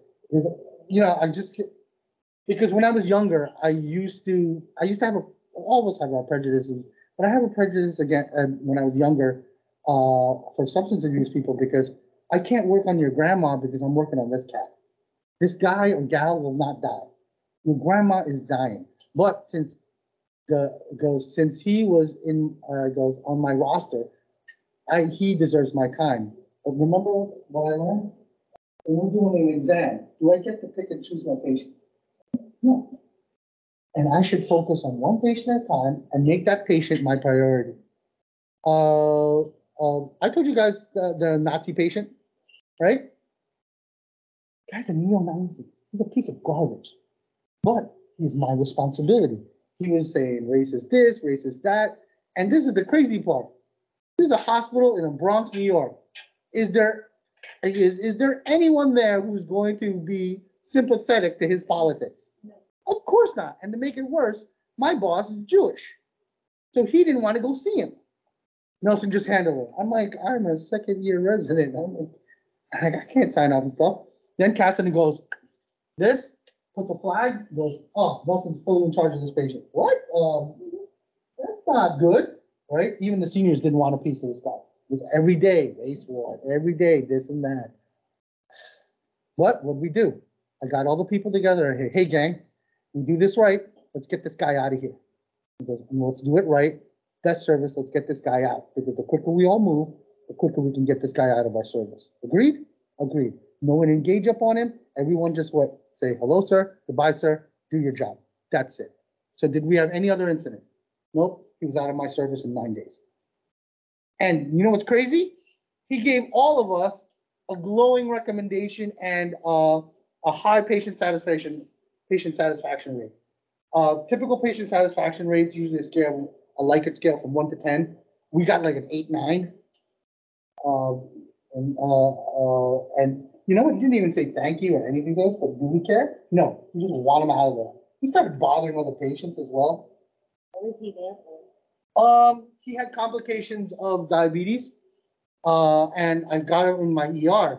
He didn't want to stay, but then he went septic and then he became my patient. And then I didn't think anything of it, right? Because his, uh, he had, you know, the gown on. Then when we transferred to the ward, um, um, I, I heard some ruckus. Um, the lady who was cleaning him up then saw all, you know, all the Hitler tattoos and the swastika and that stuff. And uh, she was a nice Jamaican lady, but she didn't appreciate those things. And also, she didn't appreciate the stuff he was saying to her. And then, of course, I have to intervene, right? Uh, because it's my ward, you have to keep the peace, right? But man, all the nurses like, what are we gonna do when Dr. Garais? And I'm like, no, let's not, let's stop talking like that. That was the first thing when we all got together. What are we gonna do to him? We are gonna give the best damn service. And we're gonna get him out of here fast. When it went to the fifth, sixth day, well, like, guys, I don't know, and I'm like, let's all be professional, so, but it was hard, to be honest with you. It, it was, it was hard dealing with that guy, but again, am I there to like my patient, am I there to be their best friend? No, I'm there to give them the best possible care, and quickest care, and this, and for this guy, I'll, I'll, I'll, actually, in real life, you guys get the feeling that we're trying to get rid of you in the hospital? You get the feeling that you're not wanted there, that we're, we're trying to rush you out? Let's be honest. I hope you do. Because we're gonna talk about, uh, nosocomial infections. A nosocomial infection is an infection that you get when you're in a facility in a hospital. Because in the hospital, there's no well people. Everyone's sick. So what happens to the, uh, level of, uh, uh, virulence? And pathogenicity, it goes up, doesn't it? That's why on your third hospital stay, within seventy-two hours, you're gonna get a low-grade fever. Anyone remember that? Anyone stayed in the hospital more than two, three days? Then we started giving you antibiotics. Well, the patient doesn't feel like, well, I'm not really that sick with that, but we're doing what? We're preventative, right? What are we trying to do? I'm trying to uh, eliminate infection before it begins. And you know, I'm internal medicine. Once you guys get sick, there's not much I can do for you. But what can I do? I can do preventive measures. I don't know what UTD means. I don't know what that is. Look that up. And why exercise? Why, why would I prescribe my patient to do exercise, especially in uh, geriatrics? Circulation, I gotta move. Yeah, anyone, anyone ever been to hospital, just sit there? After a day, you get weird. And you start, what, cramping up and it, you gotta move around. Now, what's another reason? A heart, right? Because if you don't use it, you lose it. So you have to keep tone, be there. And of course, here's also the beauty of exercise that we know physically. And that's why we love, uh, physical therapy, right? What we know about exercise is it not only lowers, um, cholesterol, it not only lowers blood sugar, so I don't have to give you insulin, right? You get the sugar in, and once you get the sugar in, inside the cell, don't you think the sugar then can be the fuel for your immune system? Yes, right? And let's talk about mentally. Has anyone ever had a bad workout when you think about it? Even like uh, those of you who do go to the gym regularly, there, are days where what? You're not, you're not putting on, and you're not feeling it, but you're there. But then when you walk out, don't you feel like at least I did something? Right? And I can tell you right now. Guess what we found out in the last fifteen years? The American Psychiatric Association, along with the American College of uh, Sports Medicine, found this out. Remember I told you about the millions of people who are on antidepressants?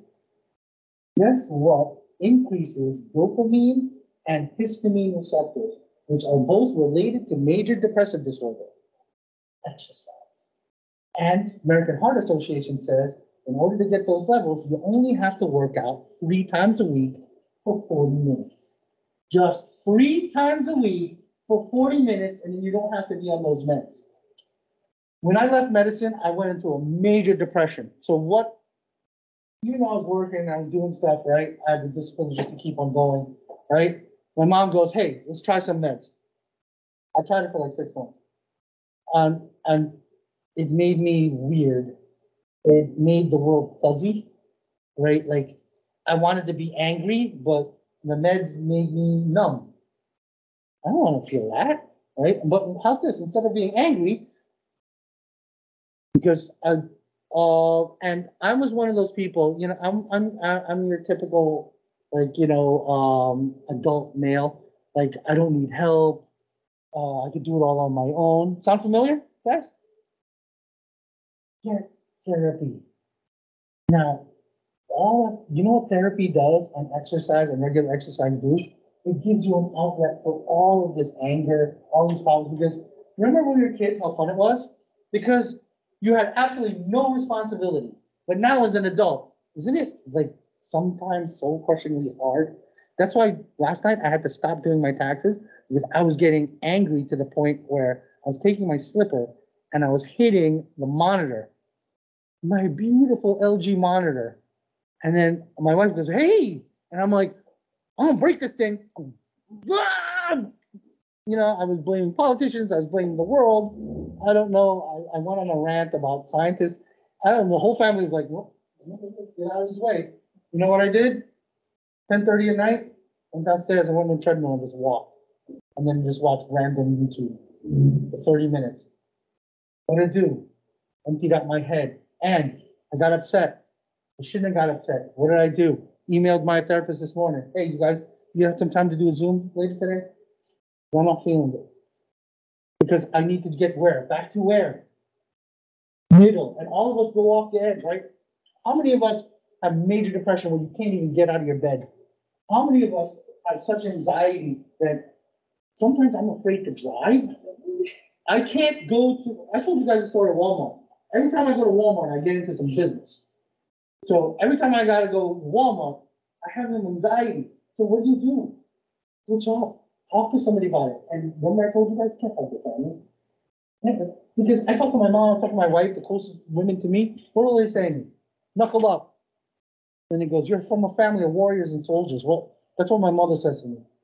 And He goes, and you go, are you not a man? And I'm like, ah, I don't need to do this. Right? And this is from my mother. But my therapist does what? Listens. That's all he does. Doesn't judge. Isn't that awesome? And then I vent out, and then he will like, see you next month. And I go, cool, bro. And then when I walk out of there, I feel good. And it's all because of what? Remember when we were kids? Uh, sticks and stones might break my bones. And words will never hurt me, but the biggest fallacy. Words are the most damning things in the world. You ever hear something from somebody important in your life and they didn't mean it, but it came off as what? When my mom says that to me, knuckle up. My father used to say that to me all the time. Could be a girl, knuckle up. I'm like, roger that, moving. Right? And before I get off on my soapbox, right? Those of you who have children, if you don't deal with your demons, who gets to have them? The kids. Why do you think my son's a recon operator?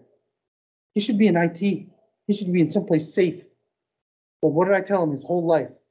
Knuckle up, be stronger, be better than who you are. So he he's like, I'm gonna join the Marines. I joined 0311. I'm infantry. And then I said, be better than who you are. I'm going to Indoc. I'm going to jump. I finished recon school. Finished SERE. They're deploying me out in this place called the Sudan. And I'm like, Jesus. And I go, you get to fight ISIS today. And, he goes, and he's like, good. But you know what? You know what he has that I didn't? Therapy. He gets to vent out. So how is he? It's fine.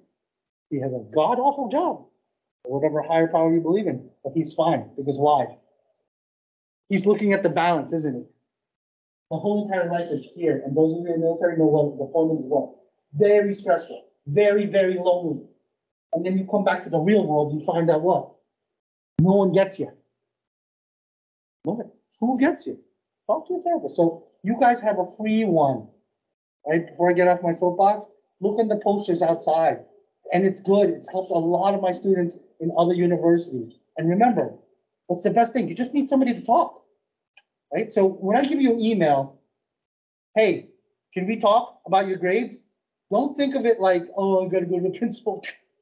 Think of it as someone here is going to be a facilitator for your success, and that's me. I'm going to give you some tricks of the trade to fix what's currently broken. So if I email you, something's broken, and we don't have a lot of time to fix it. We're already in week two. This is only a five-week program. Right? So start looking at the world like that. Start helping your patient. And remember I told you guys about nurses? In the DMV, pre-pandemic, 30% will quit in five years. Don't you think if we looked at the statistics of techs and medical assistants and everybody else in this room, it'd be the same thing? Yep. Because we need to get what? In the middle. Now, remember this infection? You have localized or systemic. So you've ever had a cut that went bad? And this area got a little bit fuzzy and red and, and maybe you couldn't move your fingers too much? That's local. But remember we talked about septicemia? If this infection doesn't get taken care of, what do I got?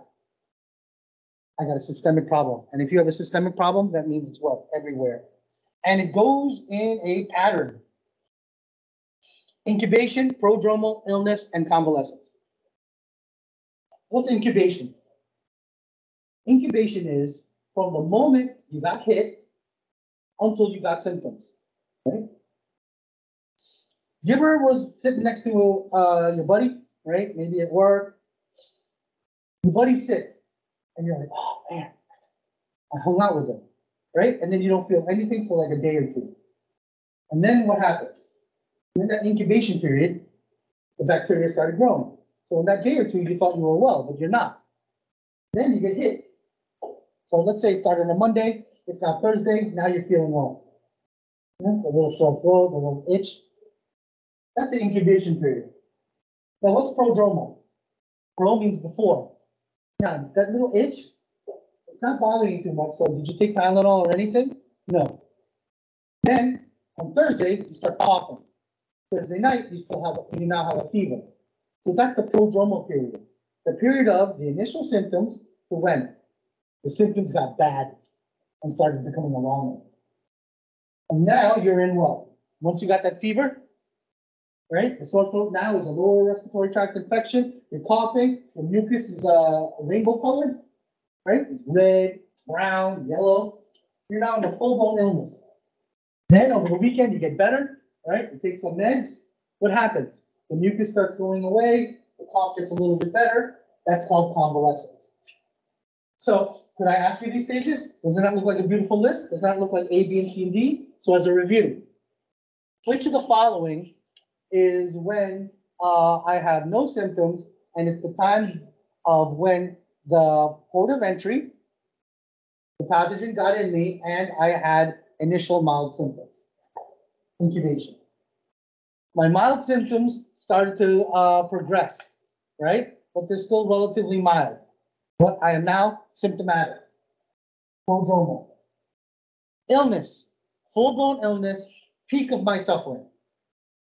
And convalescence, what happens when you convalesce? You're on the way what? You're on the way down. The good stuff. And we try to get our patient where? Try to get that patient to convalescence and go through the whole process as quickly as possible. And how can we do that? We do that with meds. Right? We also do that with uh, uh, medical management, physical management. Now, reduction in infectious disease, we've been talking about that this whole entire time. Reduction to increase. And remember, the human being isn't in a vacuum. They respond to stressors. So look at your patient holistically. If your patient is freaking about, freaking out about the bill, who's the better person to see? You, the clinician, or get somebody from healthcare admin or finance to go talk to them. I told you guys the medical terminology people the story. Um, my, my son needed specialized surgery, which, um, uh, my insurance at the time wasn't paying for. So I was stressed out because the surgery was within steps and the initial step cost forty-eight thousand dollars. I don't have forty-eight thousand dollars. I don't have forty-eight dollars. So how was my stress level when I was coming into Inova? I was pissed off. I was, you know, just like a layperson. Like this is a scam. At the time, my son was ten years old. Why are you doing this to a ten-year-old? Sound familiar? Right? You know what? I know saw my stress and saw the way I was talking to my wife. You know who came up to me? Who goes, hi, my name is Judith. I'm with, um, financial services. We we have some trepidations about your son's bill. And he goes, yeah, he's going to surgery. Do you think we can talk about this? Later, he goes, oh no, his surgery's not scheduled until eleven thirty. That's why we asked you to come in early. So your wife and your family can be with your son and, um, I can talk to you right here. Now, did she bring me in her office? No, you saw I know it. It looks like, well, a mall. So this nice little area that looks like what, where you would have coffee with somebody. She had a little laptop, you go, this, there's some payment option, and this, and then you can hold up your payment for the next three months. So how much time do you got? And she told me back to go. So that means she read, read the check. And I'm like, okay, like, I want to be angry. And she was like, I, I can do that. Okay, and then she did what? Close the laptop, goes, let me walk you, let me walk you the pre-op. Uh, uh, um, um, Dr. Mendikian is also waiting for you. I paged him so he can talk to you about the procedure. I'm like, I wanted to be angry. I wanted to like, man, this, I wish they do something. This is terrorism with me. And my wife stop talking like that, gonna arrest you. I get, you can't tell from this persona that I have a horrific temper. Right, there's a reason why I was in internal medicine in New York City. Right, I was, that was my home, that was perfect for such a toxic environment. But do you see what they did? Now, I'll be honest with you, is I know we're the best uh, hospital in the world, no, it isn't. But do you see the level of customer service that gives them a ninety-nine point two percent satisfaction rate? Right, and that's why I don't get that at Fairfax, so I go to what? Where do I know?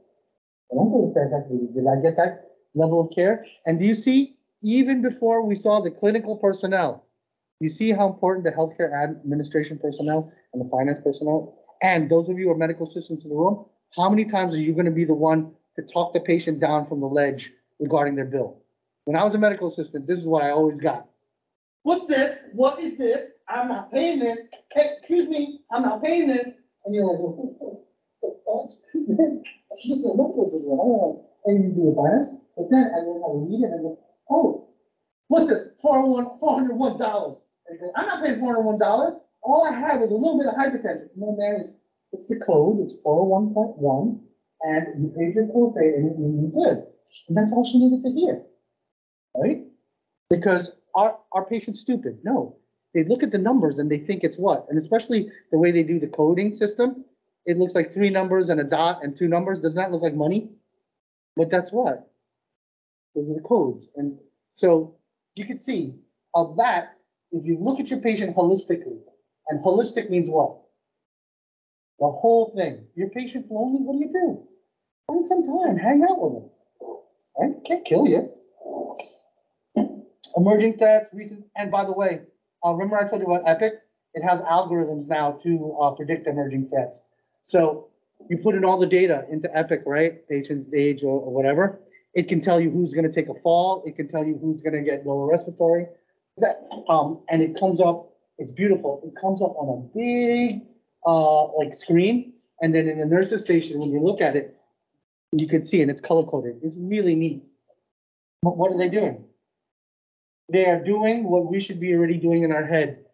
We should already be taking care of our, our patient and then kind of looking down the road and seeing where the trouble is. Nosocomial infection is one of them. Most common, urinary tract, indwelling catheter, most common. And you can see surgical wounds, pneumonia, right? HAI stands for hospital acquired infection. Nosocomial is the same thing. It typically happens anywhere from 48 to 72 hours after my patient's been admitted. And of course, the dreaded what?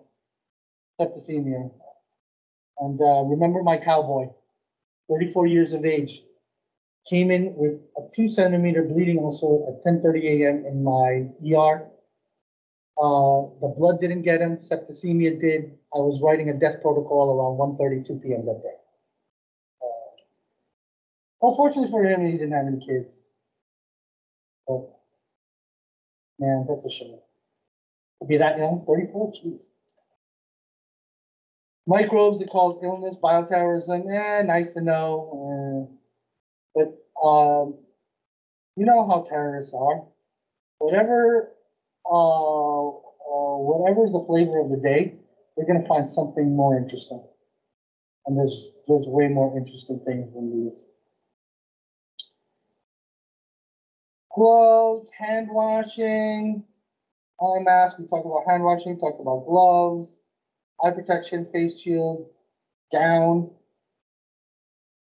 Oh, the gown too. Like, um, you guys, uh, when you see your, the way you guys wear scrubs, um, if you look at the way the surgical team wears scrubs, the scrubs are tucked in and they're tied down. Right? And, um, and depending on what department you're in, sometimes they have booties, sometimes they don't. And just as a little note, remember, your scrubs are not streetwear. Do not wear them to the mall. Oh, look at me, I'm a medical professional. No, it's, look at me, I'm a newbie who doesn't understand why I wear scrubs. That's like, that's like a soldier walking around in full kit in the mall. Right? You don't need, you don't need it for that, right? Uh, so, um, and, and have a, and actually in the hospital, there's a place for linens and then, uh, uh, I don't know about your facilities where you guys go. But even during my time, we go through central, uh, supply, we get a new set every day. So I come in there in my street clothes, right? And if I'm in like a mixed room whatever, and I have to wear scrubs, which by the way, I still have to wear my street clothes, I put my scrubs over it. And then if something really extra nasty is happening, I have to do what? Then, um, have another set of gown, another set of gloves. And it's all for PPE, personal protective, uh, equipment. Now, of course, airborne, droplet, that's easy. You mask up, um, you also have your shield. Contact precautions, of course, uh, just, just be wary of, um, uh, of what you're touching and also, um, and just, uh, take care of your workspace. That's the best, uh, that's actually the best way. Like right now, I'm coughing up a storm. Am I gonna be in the professor's lounge? Right? No, because it's this closed environment, it has no windows. I'm gonna get somebody sick. So what do I do? I go in the back or I find a lab that no one uses or that little thing, uh, right down there. You'll see me hiding out, skulking in the dark over there. Because I don't wanna a- affect any of my colleagues. And what do I do after I leave? Actually, what do I do after you guys leave? Um, uh, we disinfect the, uh, we disinfect the room after you guys. Because there's an evening crew here. And in theory, should have gotten disinfected this morning before you guys came in. So that is the lecture. What time do I got? Woo, I'm pretty good on time. So now it's ten twenty-three. So, um, let us take a quick ten, and this is what we're gonna do. We're gonna take, um, and, um, and you could have your notes available and whatnot. We're gonna take a practice, uh, quiz, uh, that I already posted. And then, uh, we're gonna go over all the answers. And also, I'm gonna show you how I made the practice quiz, so that in future reference, you can make, I was supposed to make a Kahoot, but the Kahoot thing, I don't know, why is it targeting me? It's not giving me, uh, access, because it's always asking me, hey, you could pay, you could pay. The last time I remember, it was free, but I don't know, I maybe I shouldn't have used my ECPI, uh, edu, um, email. It was probably algorithm that's, oh, teacher, teacher, money. Uh, I should have just used student, and, um, maybe that's why. So let's, let's do a, a, a, quick ten, and then we'll come back and we'll take the quiz as if it was real. Right? I'll even put a timer up. How many of you get nervous when there's a timer up? Right? Good. What are you now gonna do always? Put a timer up until when? You don't notice it anymore. Because, and we'll also talk about time constraints as well. All right, I'll see you in ten. Where is my timer?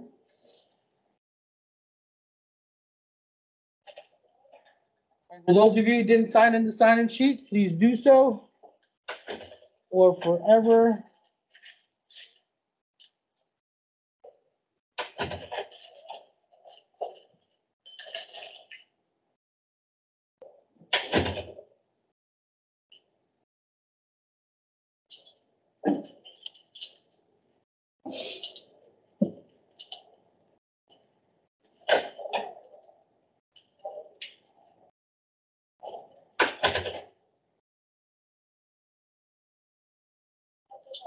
Yep. Yep.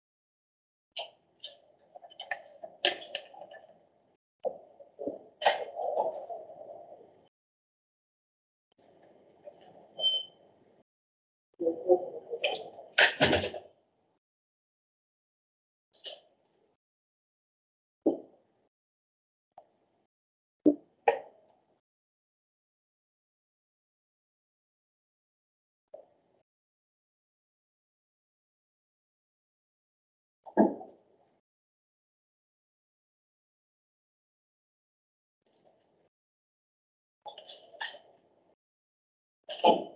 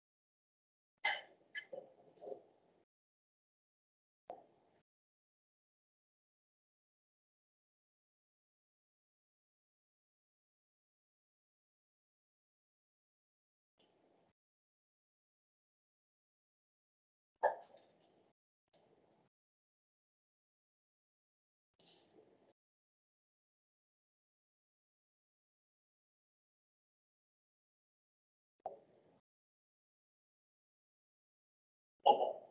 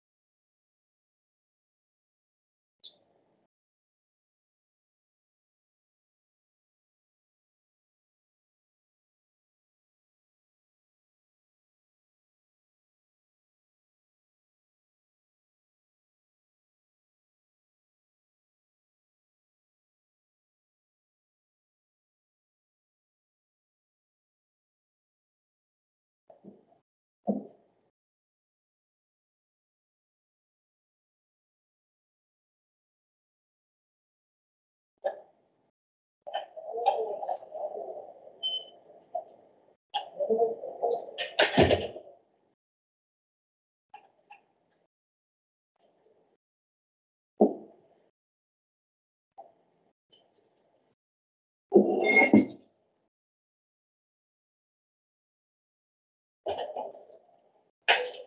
right, so let's see.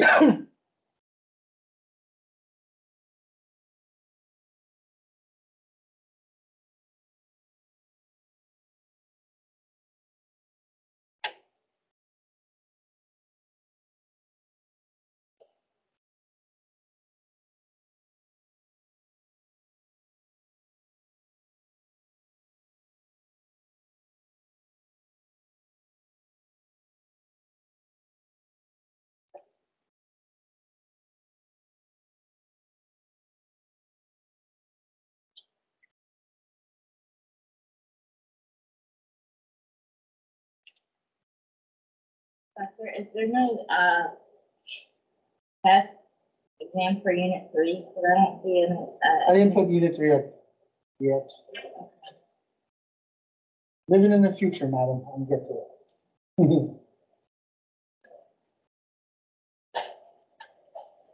Oh.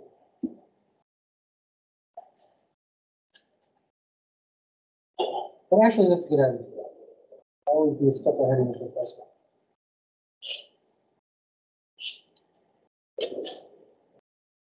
Come on, let's put this.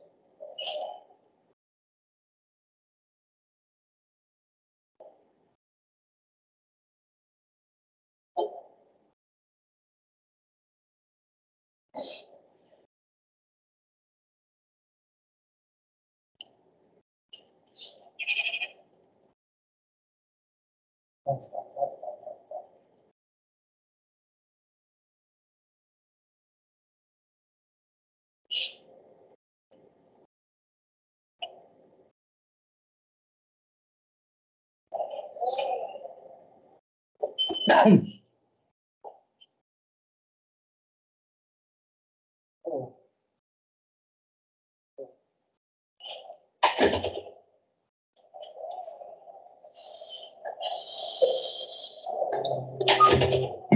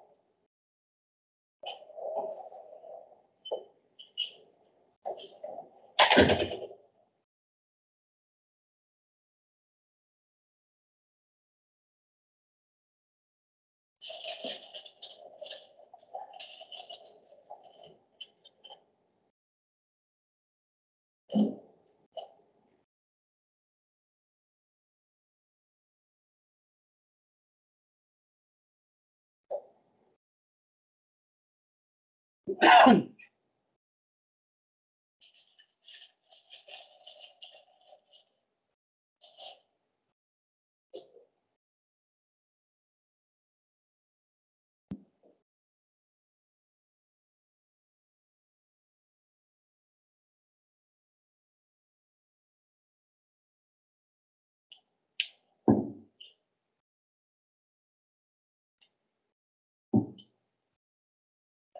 Okay.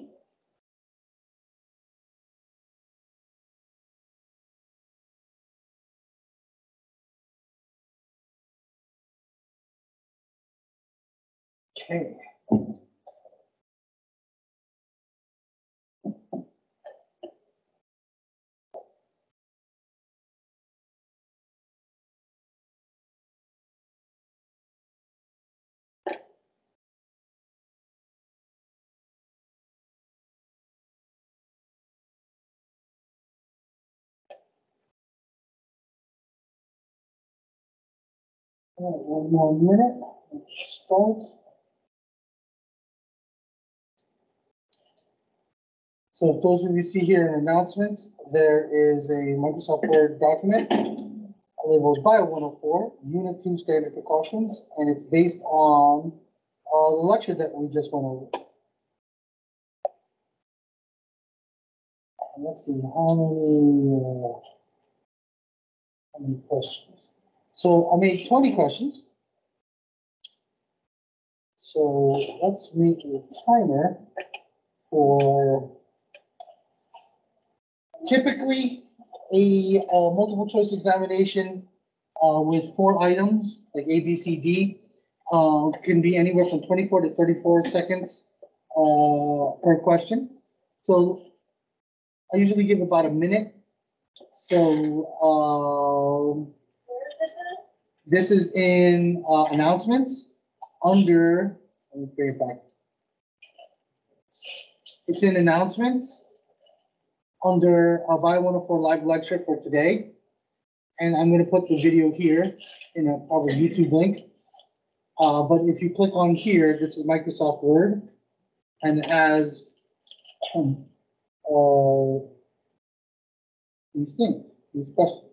So starting right now, and I'm gonna put up a timer, um, on a scrap piece of paper or, you know, uh, or, you know, whatever. Uh, but take the test, this practice test, take it in the next twenty minutes like it is real. Okay. This so you know. where I am.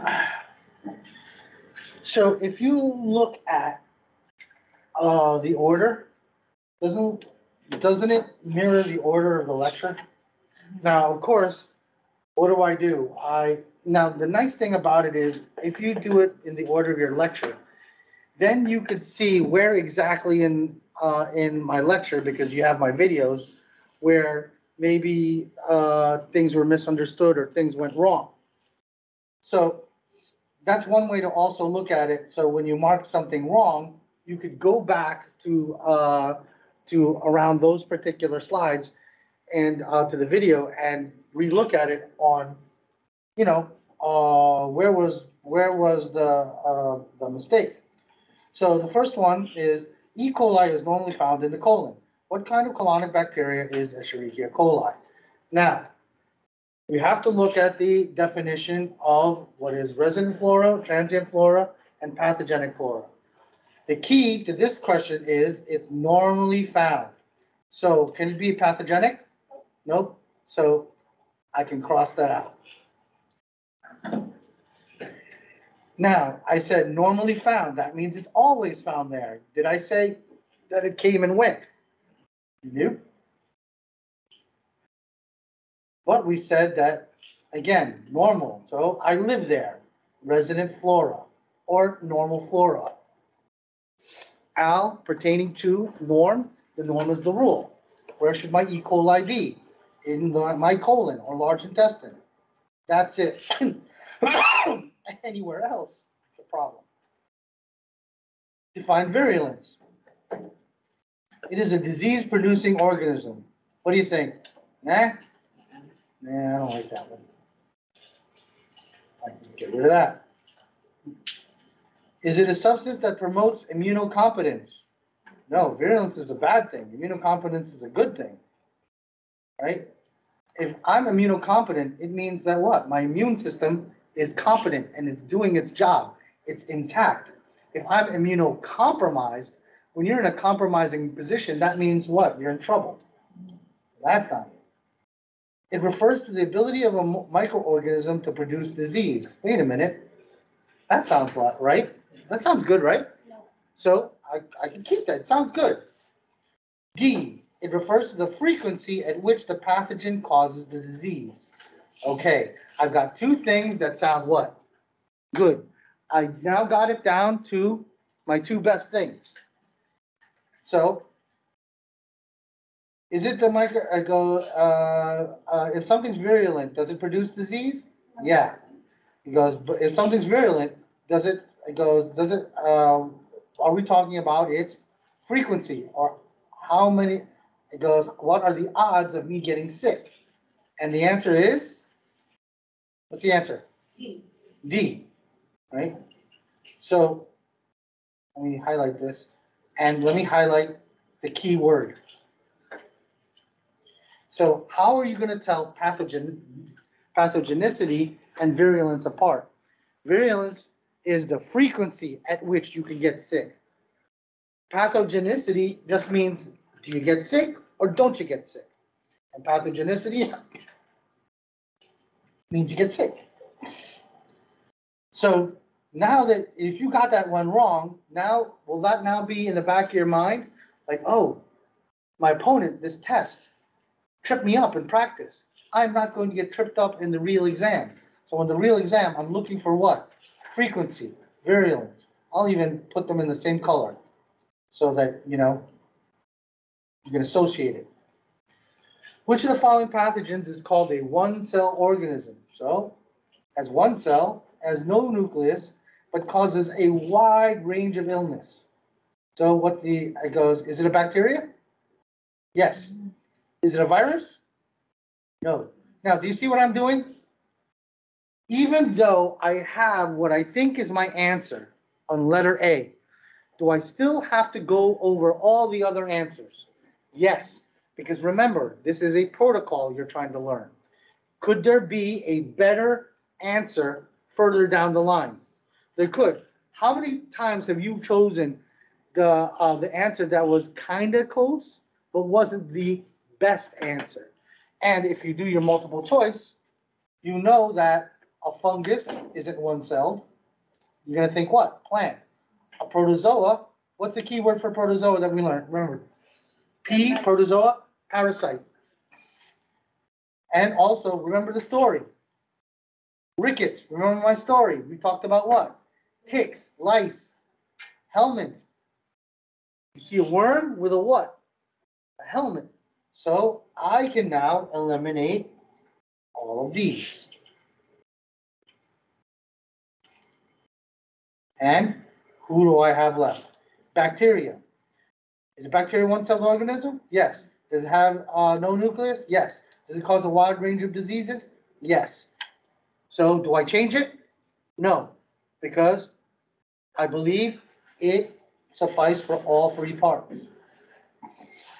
Four, which of the following org- microorganisms utilizes DNA and RNA? You gotta have to go through the whole thing, right? But who is the one that is so small that it can get all the way inside the nuclear envelope? All these other things, bacteria, fungus, protozoa, helminth, and rickets, they're big things. What's the only thing that's very small? Remember I told you it'll go through skin, it'll go through your mask, it'll go through um, uh, the cell wall, and it'll go right into the nucleus. And who is that? So think what? Virus.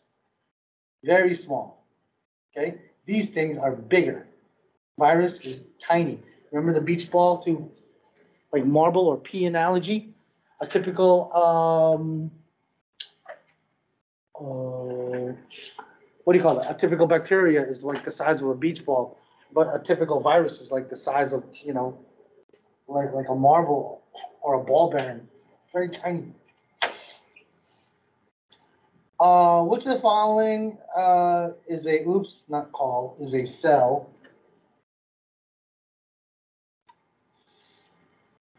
Oh, it's called, which of the following is called a mycosis or mycotic infection and is usually found in an immunocompromised patient. Mycosis means what? Means what? Fungus. Bacteria called a mycosis? No. Uh, Can I have uh, bacteria even if I had a a immunocompromised patient or not immunocompromised? Yeah, you could be perfectly healthy. But who's the one that's known as a mycosis, a mycotic infection? That's a fungus. And, and think of fungus like a plant. Which of the following is a single-celled parasite that is spread through contaminated, ugh.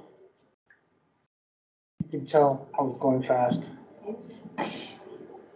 Or through insect bites. Which one, uh, was parasite, P, and contaminated food, insect bites? Protozoa? Which of the following is an intercellular parasite that spreads disease through fleas, ticks? That's easy. Rickets, rickettsia. Which is the parasitic worm? Think what? I'll even color it a different color. Color it this color. I want you to think worms and helminth. So if my patient, if you notice if my patient is on an anti-helminthic, that means what? They have a worm infection. Well, how's this? You want to go even a step further? You guys learned white blood cell differential. So my patient who has worms, not only did we have positive tests for worms, I see it. What would their blood test look like? What would be increased in their white blood cell differential? Would it be, uh, how's this? Let me even make it easier. Would it be, uh, neutrophil, eosinophil, or basophil? For, uh, a worm or a parasitic infection? Eosinophil, right? Remember? Think what? Uh, think parasitic infections. And that's exactly what happens.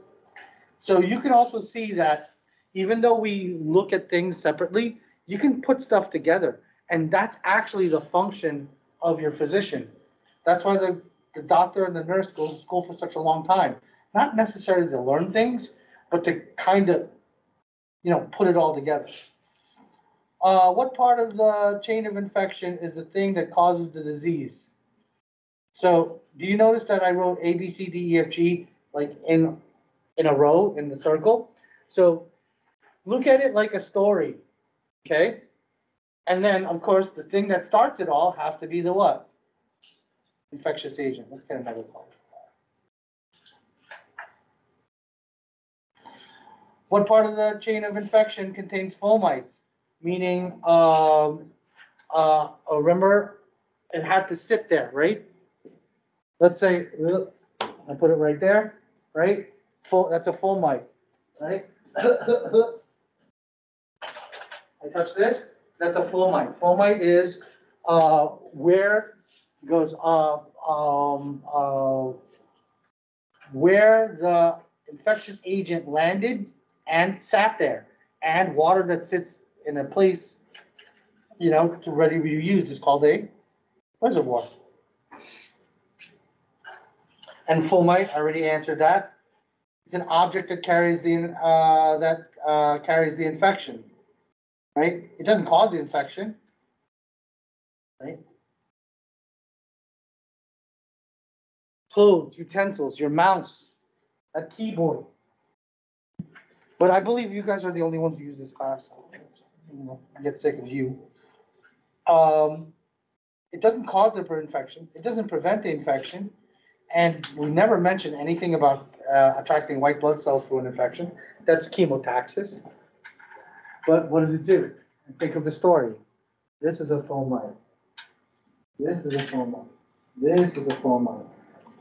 Lord, phones. Well, we don't have phone phones anymore. Jeez, that's, I'm now dating my, uh, my lectures. That's how long I've been teaching this topic. Uh, twenty years. Uh, we used to talk about phones.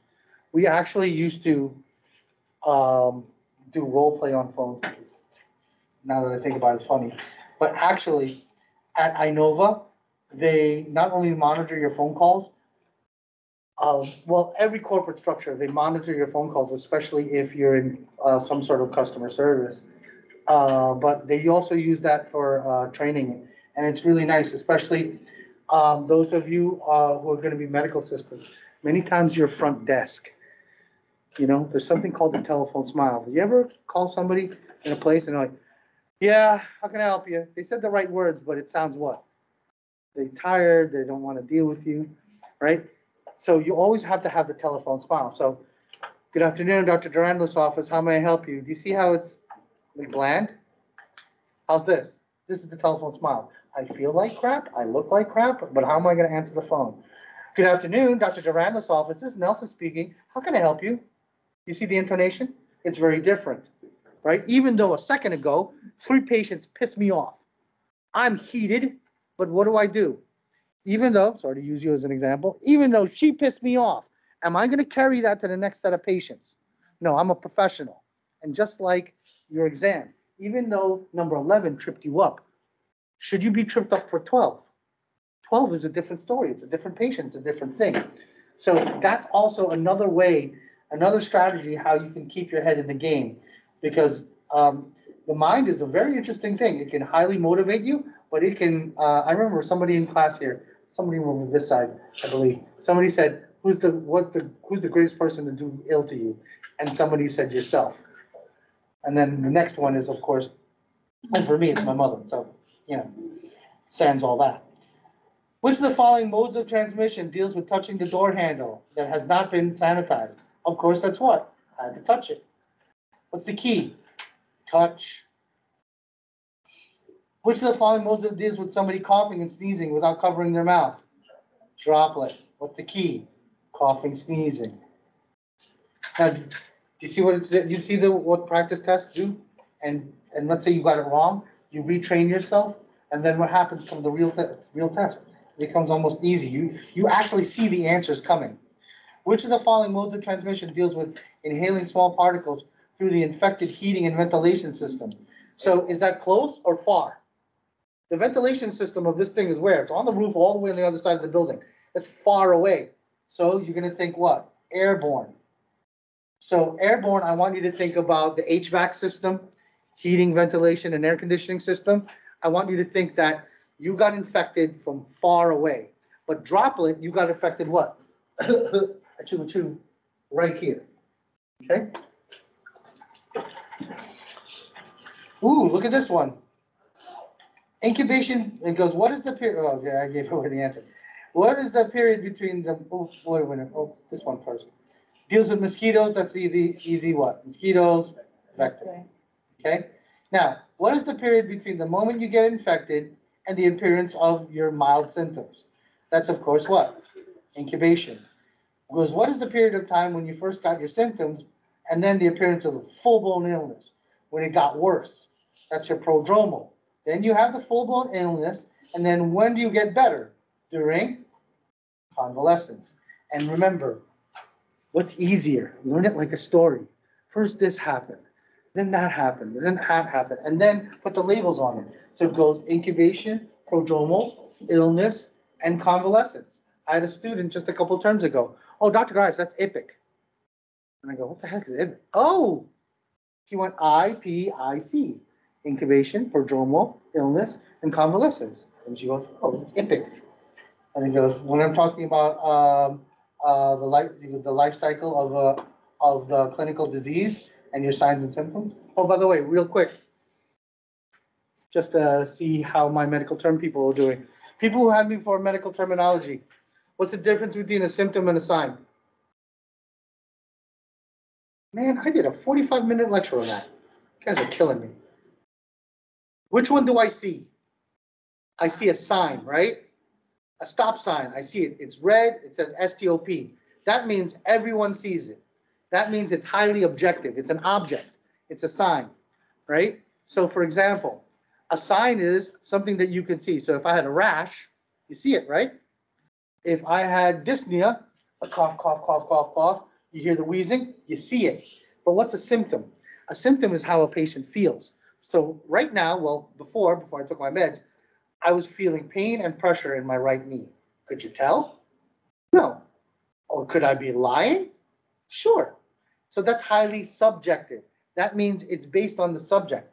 And remember what we said about sim, uh, about, about symptoms?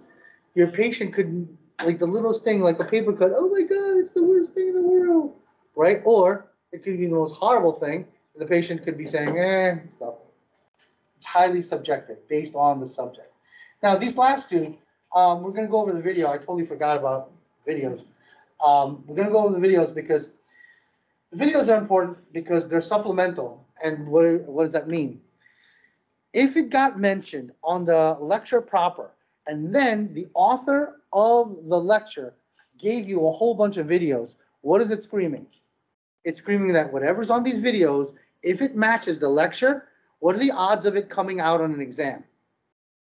Pretty good, right? And I can almost tell you, now that I have full control of the exams, it's gonna come out. So we're gonna look at the uh, supplemental video. So choose the true statement regarding universal precautions. Only blood with a known HIV patient should be treated with care. No, it's all blood. Remember, universal, not one, just one standard for who? Everybody. I can tell you, back in the nineties, the second they found out you were HIV positive or potentially HIV positive, they treated you like a leper. Like no one wanted to go in the room. Everyone were like, oh, watch out, dude five is HIV positive. And everyone was like, I even used to watch medical professionals, let's say this is room five, would walk away from the door. Because they didn't understand what? The anatomy and physiology of it all. Just like, just like COVID. They didn't understand the anatomy, uh, physiology of it all.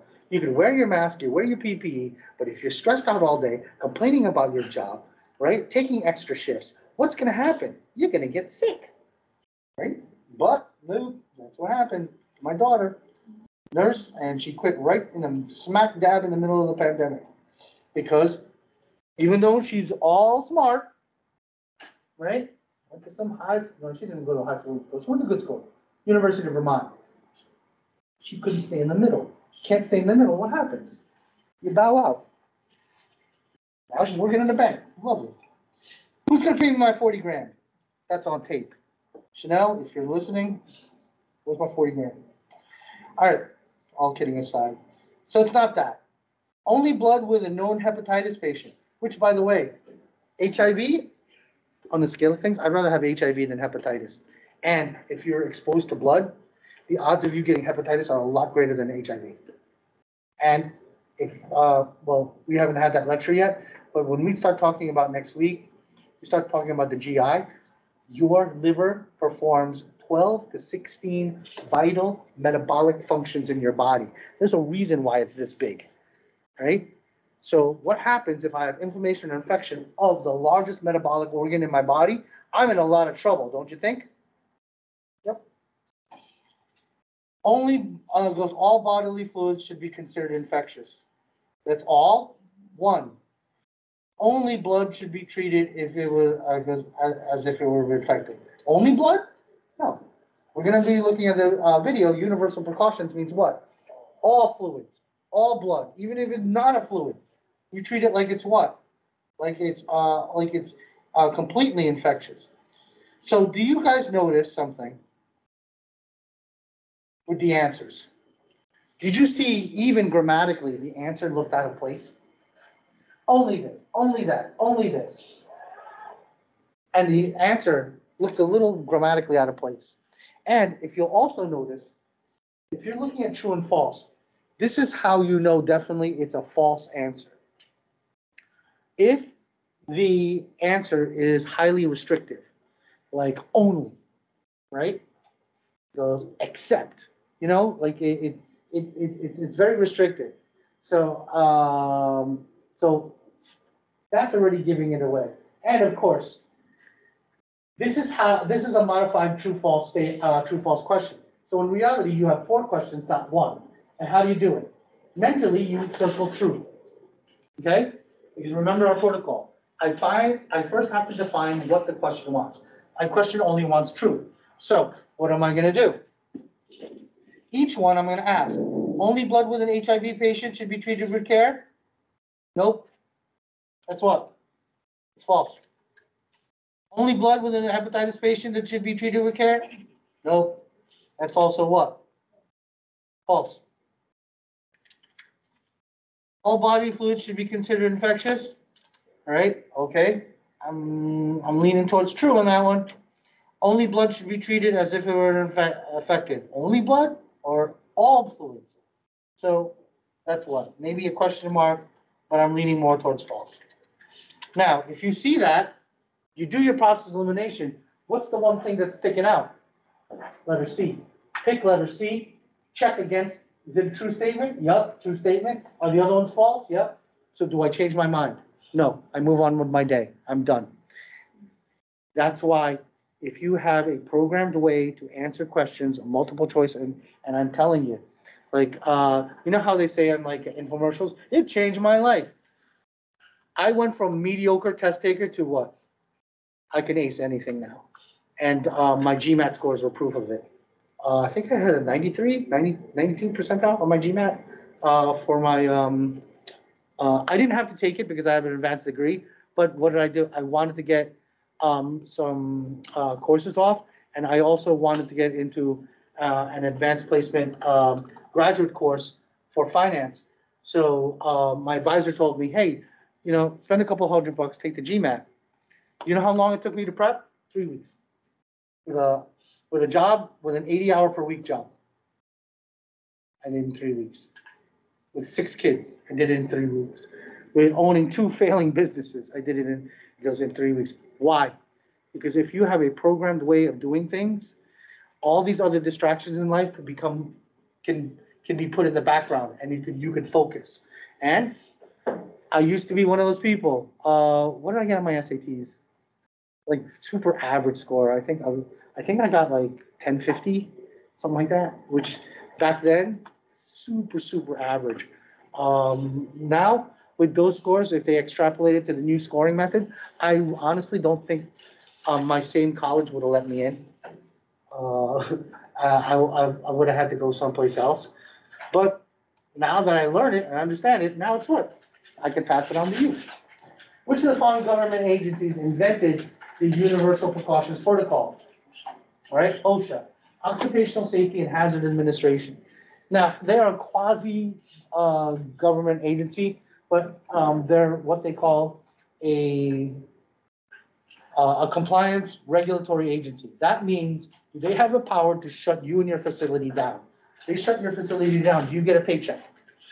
I got shut down in OSHA when I was in New York City, when I was a medical assistant.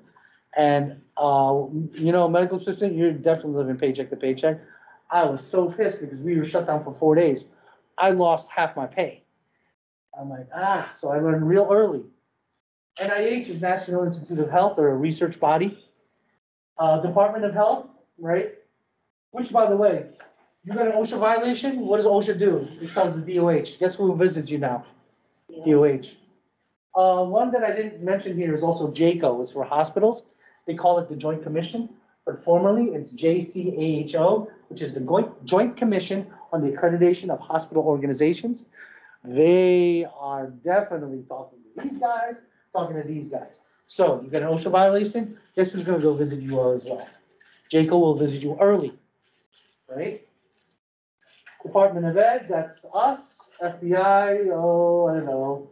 Oh, by the way, those of you who are uh, clinical personnel, um, uh, and want to get into a government gig, oh, I wish I still had his number. I had a guy, I, I, um, uh, you guys ever heard of, uh, MedTech in Falls Church? Uh, I was a director of education. I had a guy come in from the FBI because I had like a thousand medical assistant students on that, on that campus. And because medical assisting is your stepping stone, usually you're not quite sure if you want to get into nursing or medical billing and coding or healthcare admin. You take medical assisting, just like I did, to kind of navigate and figure out your way out. What are you gonna do, you know, when you uh, step up? Well, other things that you can consider is, do you think you can work for a government agency? Government agencies don't pay a lot, but they are awesome at benefits. And um, it's like the gift that keeps on coming. I worked for a year and a half for um, a government agency, and um, I'm still reaping the benefits of my quote unquote little pension. My mother worked for a government hospital for 24 years and then worked another 10 years in uh, prisons. So what does her, um, uh, what does her pension look like? Actually, she should have stopped working uh, when she was in uh, her 60s. But if you're in healthcare, can you work forever or as long as you want? Yeah. My mom worked, uh, what is she, 84 now? Yeah, she she really, really stopped 79. Right? And because uh, you know that uh, you know that adage, like if it's something that you really love doing, then it's not work. This is not work to me. This is fun time. Right? Yeah, I know I don't get paid a lot, but I get paid to do what? The yap. And it, it's fun. And of course, NSA, another uh, government agency, national security agency. Oh, by the way, these people, FBI, NSA, don't you think they have their own dental clinics? They have their own medical clinics. They don't pay as much as the private sector, but guess what? Well, you have that job for life. I always tell this story. I had a friend of mine when I was working in that government hospital. He had a penchant for sleeping with his patients. And any other place, he'd be canned and what? You know what they kept on doing to him that whole entire year? They kept on moving him around. And then I saw him in another hospital, another government hospital. I'm like, Jay, what are you doing, man? They didn't take your license yet? He goes, nope. And he, and he was like, and he goes, I'm gonna be a dad soon. And I'm like, oh, that's gross. Why? And he goes, no, I'm gonna do right by her. Uh, then I found out later, not the only kid he impregnated, not the only nurse impregnated. Oh, and he was an equal opportunity uh, sperm spreader. Uh, tax, everybody, right? Highly unethical. But in a government agency, he got to do what? He was valued. He didn't want to leave. Therefore, what? They just kept on moving around. He's in radiology now. I don't know where. Uh, but just because you got an MD, don't mean don't mean you're the most ethical person in the world. And I can tell you right now, um, you know where I met the best cheaters? I met them in medical school. And that's, isn't that scary? That somebody who's in charge of your healthcare uh, is okay cheating in school. That's really scary, but I told you guys the Bimby story. It'll catch up to you and, uh, you'll be prosecuted with the maximum, maximum extent of the law. And you'll not only be fired, it is the civil suit that'll come after you, the wrongful death suit that'll come after you. That, oh, by the way, wrongful death also has no cap. Wrongful death now also attacks techs and nurses. Right? So they'll never attack the medical assistants because they know we're always broke. But, you know, if you have, if you have a history of uh, doing bad stuff, it'll follow you. So let me be good on my promise to look at some of these videos. And, um, also just as, uh, just as, as another form of, hey, this is, uh, something, you know, uh, just look at it because they're also sources of what your professor can do. And, oh, I'm living in the past, unit two, please.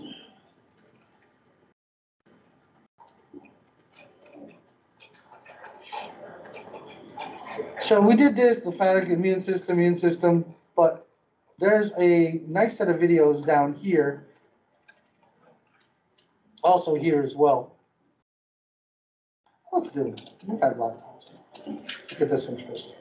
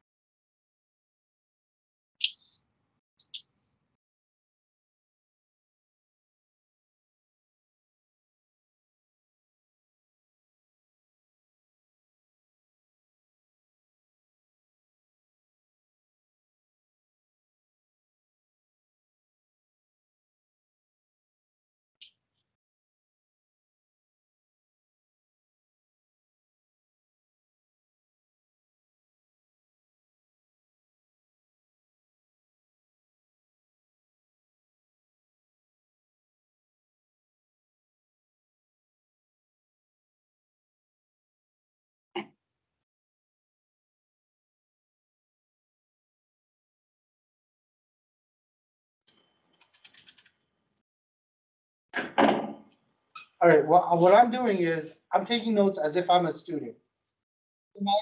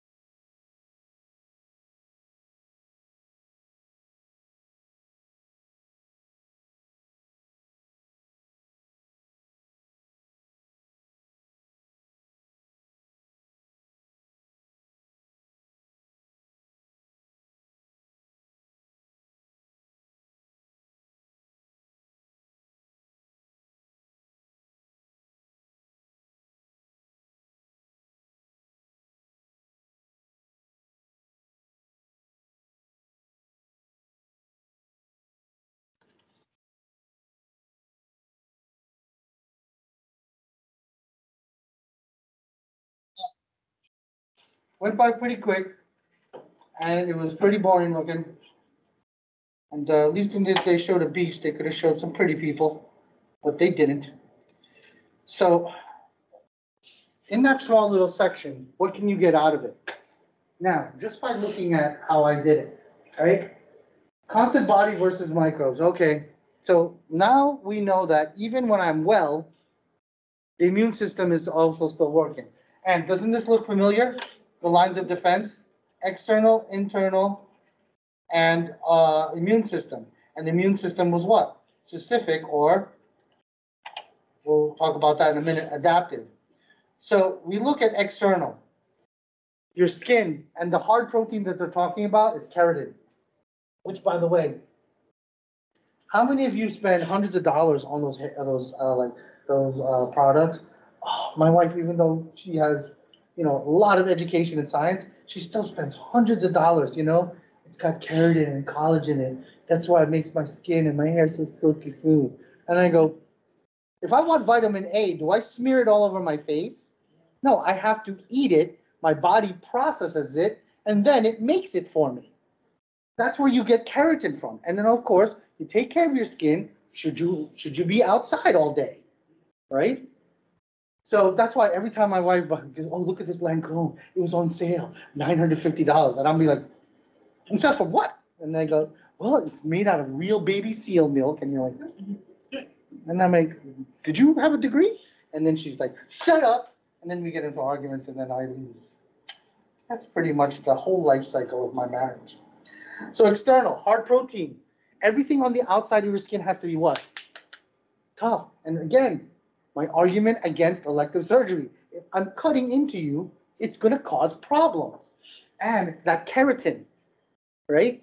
Keratin, think what? On the outside. Collagen's on the inside. And you get this stuff through your diet. And sweat and sebaceous glands. We already talked about that. When you sweat, right? Hey, have you ever, um, have you ever worked out really bad and you sweat and it got in your eye and it burned it? Huh? I'm the only one, right? Well, I don't work out like that anymore, but before I used to work, in my youth, I used to work out, um, a lot harder and sometimes it would burn my eyes.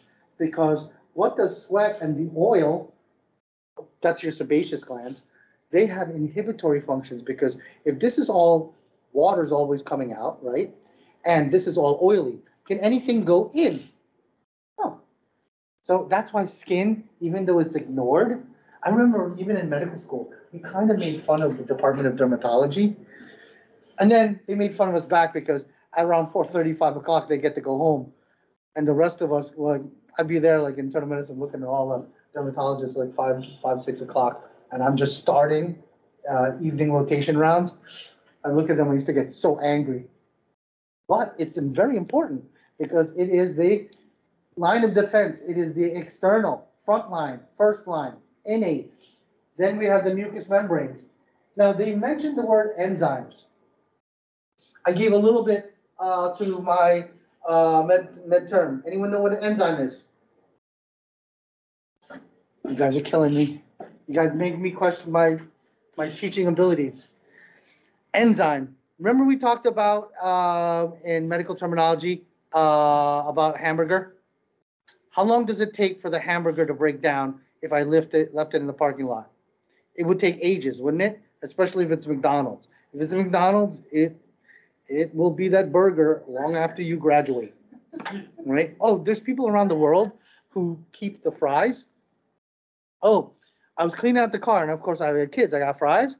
My kids were eating the fries and he goes, Papa, he goes, this one's still warm. And I'm like, and I'm like, ew, please don't do that. And they just, unfortunately, go, no, it's still good. And I'm like, and I go, do you remember the last time? It was pre-pandemic when we ate fries in here. We go, and, and she was like, well, it's warm and it tastes good. And then I was questioning, why is it in 20 degree weather, why is the fry still warm? Because enzymes are proteins that break things down. Why do you think uh, whoever raised you taught you to do what? Remember what they say when you when you eat food, you gotta chew what? 20 times because saliva has enzymes that'll break down the food, right? And of course, mucus, it's sticky, it traps it, and then releases when you cough or sneeze. We already learned that from this lecture. You saw cough and sneeze, you saw mucus more than once. So is that droplet infection gonna come out for this exam? You darn tootin' would be. It would be criminal if I didn't put that on the exam. And of course, enzymes. We're gonna learn next week that your stomach is full of acid. I mean, acid, acid, like the acid in the movies. If I took the pH one acid from my stomach and I put it on the hood of your car, it's gonna eat through the metal. But then you say to yourself, why in heaven's name, whoever built this, put that inside me? What am I, alien? Remember the alien? Uh, I'm the only one who watches Sci-Fi Channel. You know the one, you got the mouth and the mouth, right? And then, uh, oh no, that's a different alien. Well, Sigourney Weaver, remember her, right? An alien, uh, um, because I keep on forgetting that, uh, that I watch way too much garbage. But enzyme, uh, those enzymes and acids, when you swallow, remember, this is the dirtiest thing in the world. And all your food, you could nuke it twenty times over, it's still nasty. Like I said, take any of your vegetables, soak it in water, in cold water, just leave it there for fifteen minutes. Take out the vegetables, look what you see there. And that's just soaking. I'm not scrubbing my vegetables, I'm doing anything. That's going inside you. So there has to be enzymes. These, um, uh, an enzyme, you'll know it has ASE in the end. So if you have a proteinase, it's an enzyme that breaks down proteins. If you have a lipase, it's an enzyme that breaks down lipids.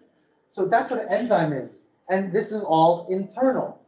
And if I have an acidic environment that burns all the bacteria, then that bad street taco, in theory, should be what? Do you guys ever notice if you eat like bad food, like, um, like, uh, and street food is like the best, but you know, it's kind of questionable if they have a license or not. But that's what makes it taste so great, isn't it? So you eat that, do you notice you get heartburn? Right? Because why? There's a lot of salt, there's a lot of fat, there's a lot of bacteria, and then when there's a lot of bacteria, you got a lot of acid, and sometimes that acid kicks up, and you get a little bit of GERD, gastroesophageal reflux disease. Warm, moist, and it's, it's warm, it's moist. So mucus, if it were normal levels, we're okay. If you have too much mucus, how much trouble you're in? If you have bronchitis, if you have asthma, you're gonna have too much mucus, and then it becomes problematic. We talked about thugs. They mentioned what? The phagocytic natural killer cell. You also mentioned T cytotoxic cell. We also mentioned monocytes that turn into macrophages. They all do what? They eat things. They walk around, and when the T cell, T helper cell says, that's a bad guy, these things, phagocytose it, and of course, we already learned fever. Low-grade fever, do I give Tylenol, ninety-nine degrees? Nope. But when it starts going 100, 101, then I give an antipyretic, which is Tylenol. If it goes too high, what, what's gonna happen to me? I could do what? I first get a seizure, and then I go into a coma, right? And then you can snap out of it. And I can tell you, it's horrible. Um, um, you name the infection, I probably got it. But, uh, I had a 105, 106, uh, degree fever. And it was so bad, I could even feel, it feels like my body was gonna snap into two.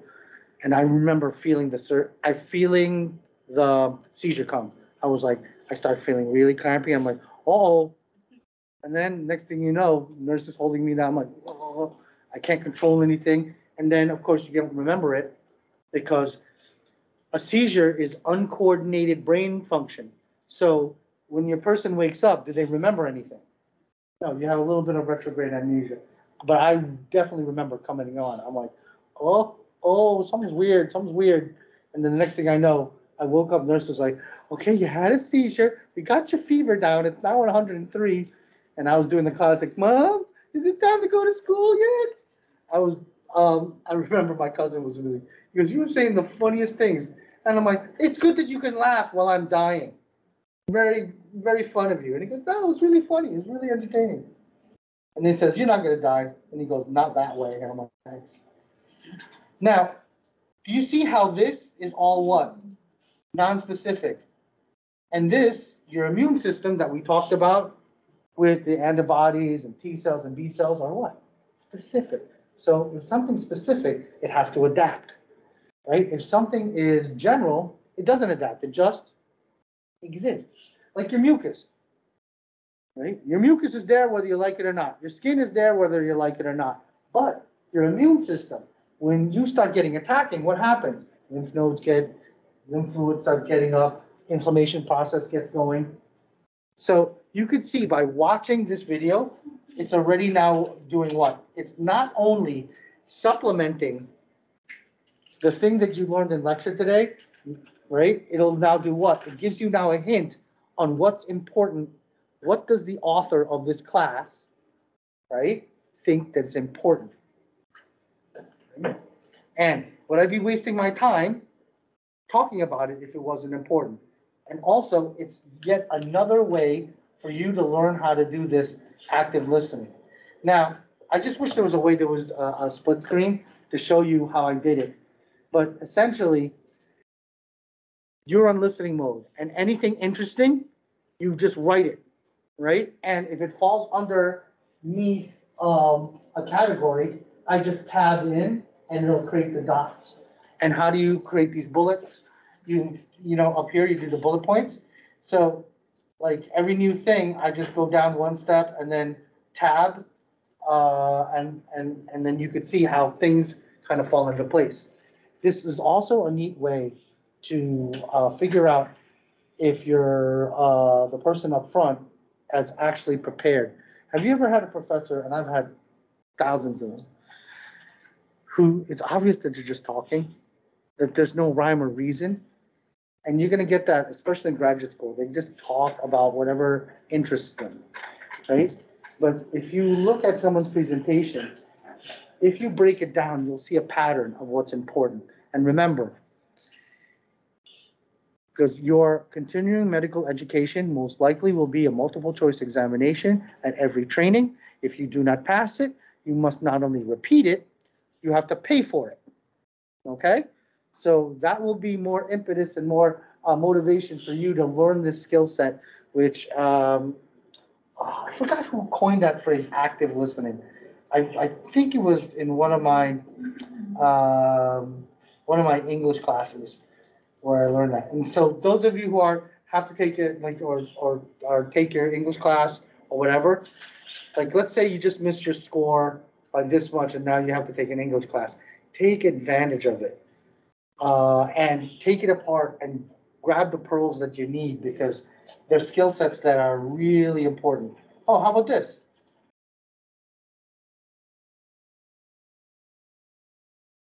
HIV, uh, T helper. See that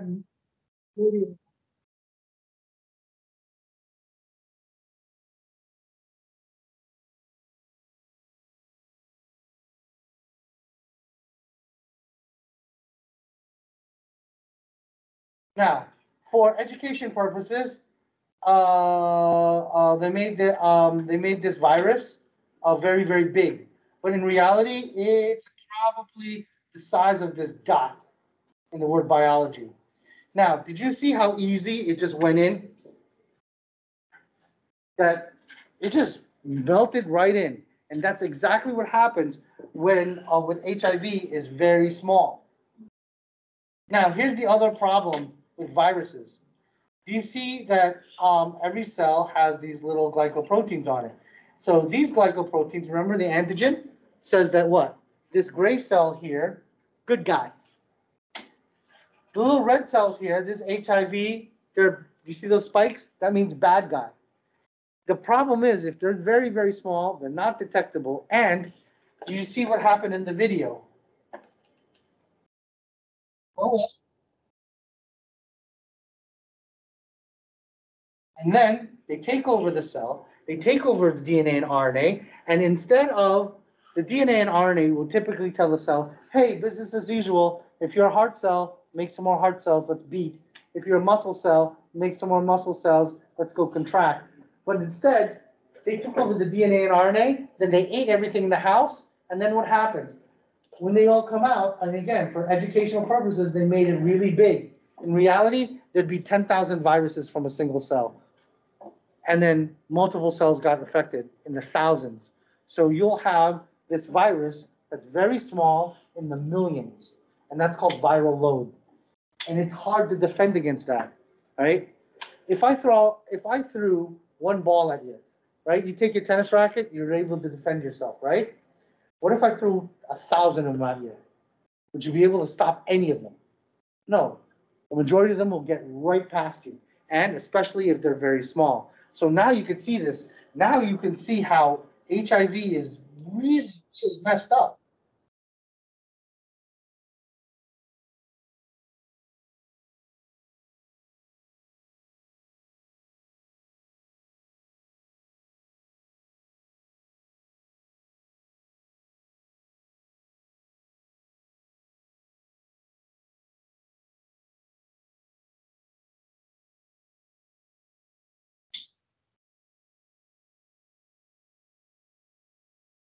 No, there's known reasons. Again, like I stated, I have antibodies, they're highly specific, but like I said, if I have, a if I have a, a, a severe viral load, I throw one tennis ball at you, you can defend yourself, but if I threw a thousand at them, all of them are gonna get by you. You won't be able to stop it. So even though it has antibodies, right? This thing happens way too fast, and remember, my antibodies where? Is on the outside. Where's all the horribleness, if that's a word, where's all that happening? On the inside. So once that thing explodes, the antibodies are overwhelmed, it's too late. So, like I said, like, once you get HIV, there's not much I could do to you. You got HIV, your eventual path is what? AIDS. But we learned over the years that I can postpone that, and I could get the viral load down what? To very small uh, amounts. And that's why my cousin, uh, 10 years ago, was uh, diagnosed with HIV. He's healthier than I am because there's rules, there's protocols, and there's medication to do what? Get his viral load down, and he lives a very fruitful life.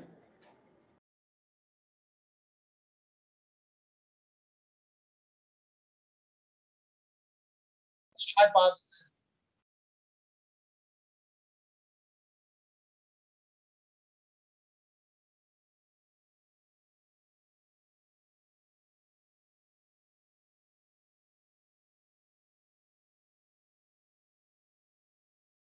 Oh, here's also the other messed up part.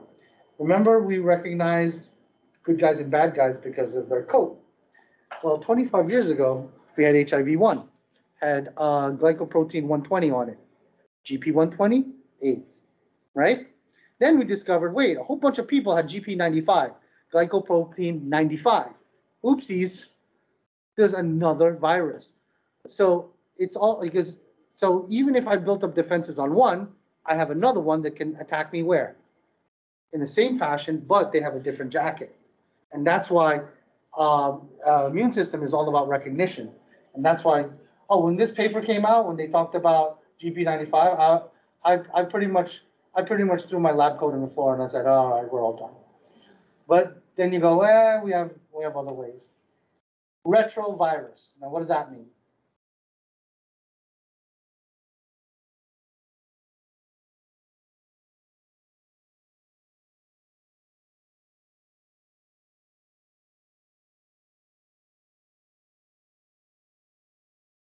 So they take from the host. Think of this, that he's talking about is HIVs. Okay.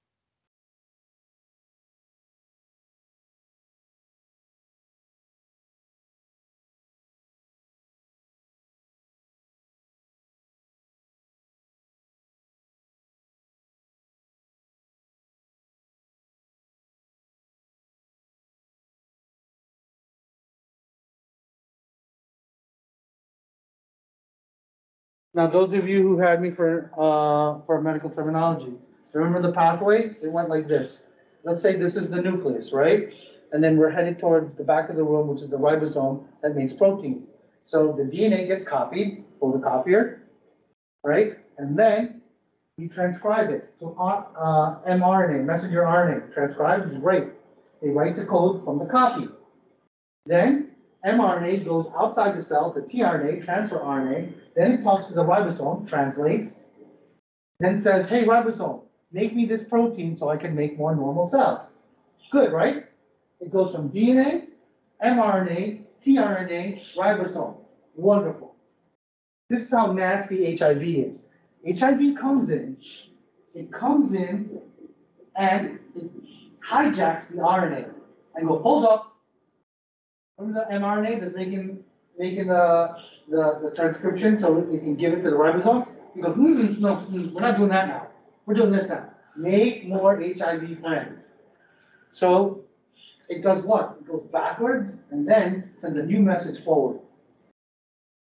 How can you, how can you defeat that? How in heaven's name can you defeat that? Well, there's ways. But that's extra nasty, isn't it?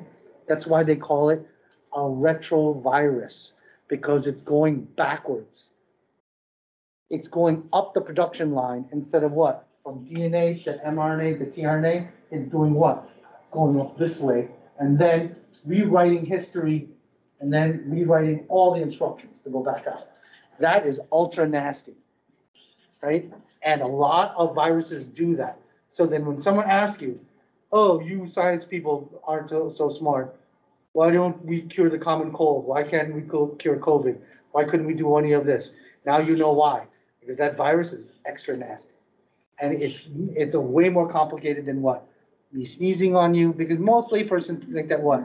I sneeze on you, I find it, I give you a pill, the pill makes it go away magically. It's not like that.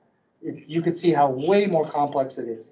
And now you can, well, if you're a chemist like me, you can appreciate the nastiness of it all, but it, to me, when I still look at it, it's kind of scary.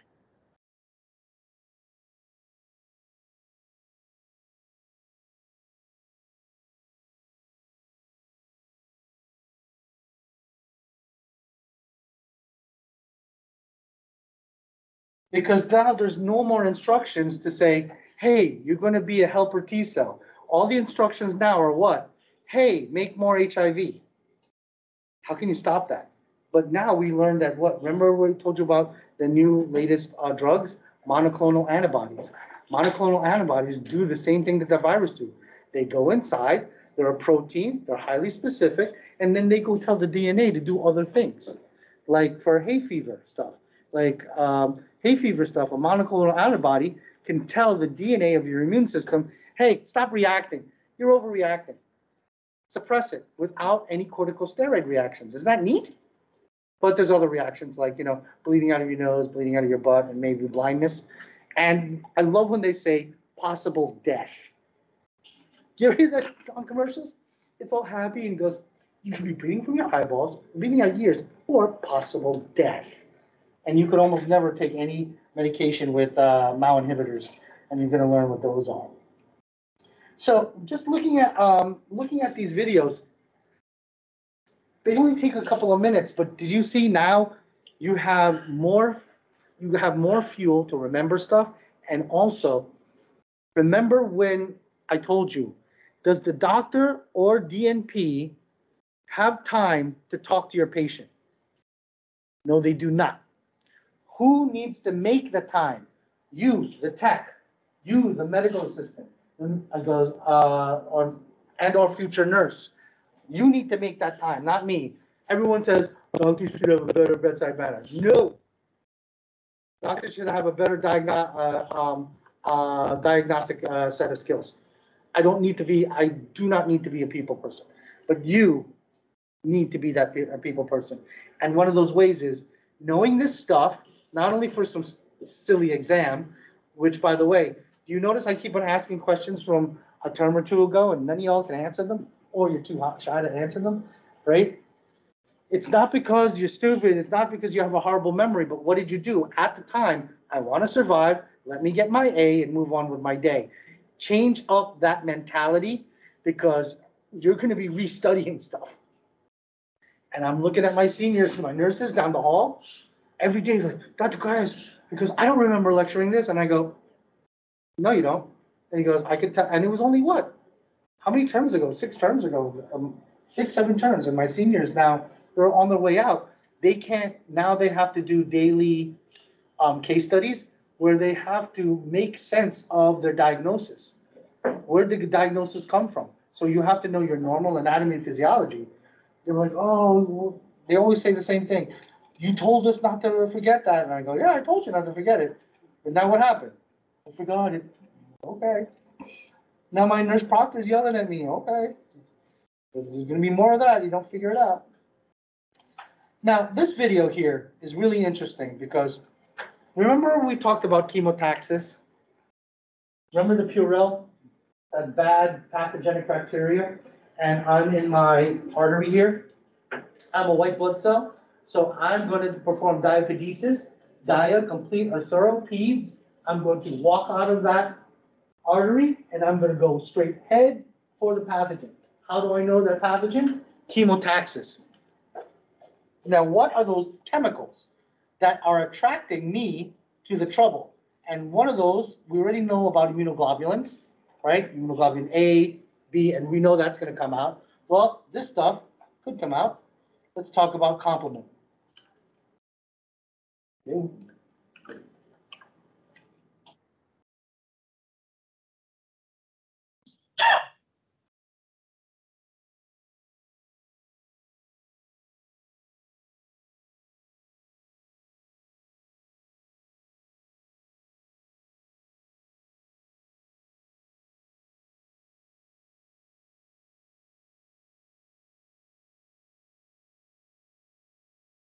discussion.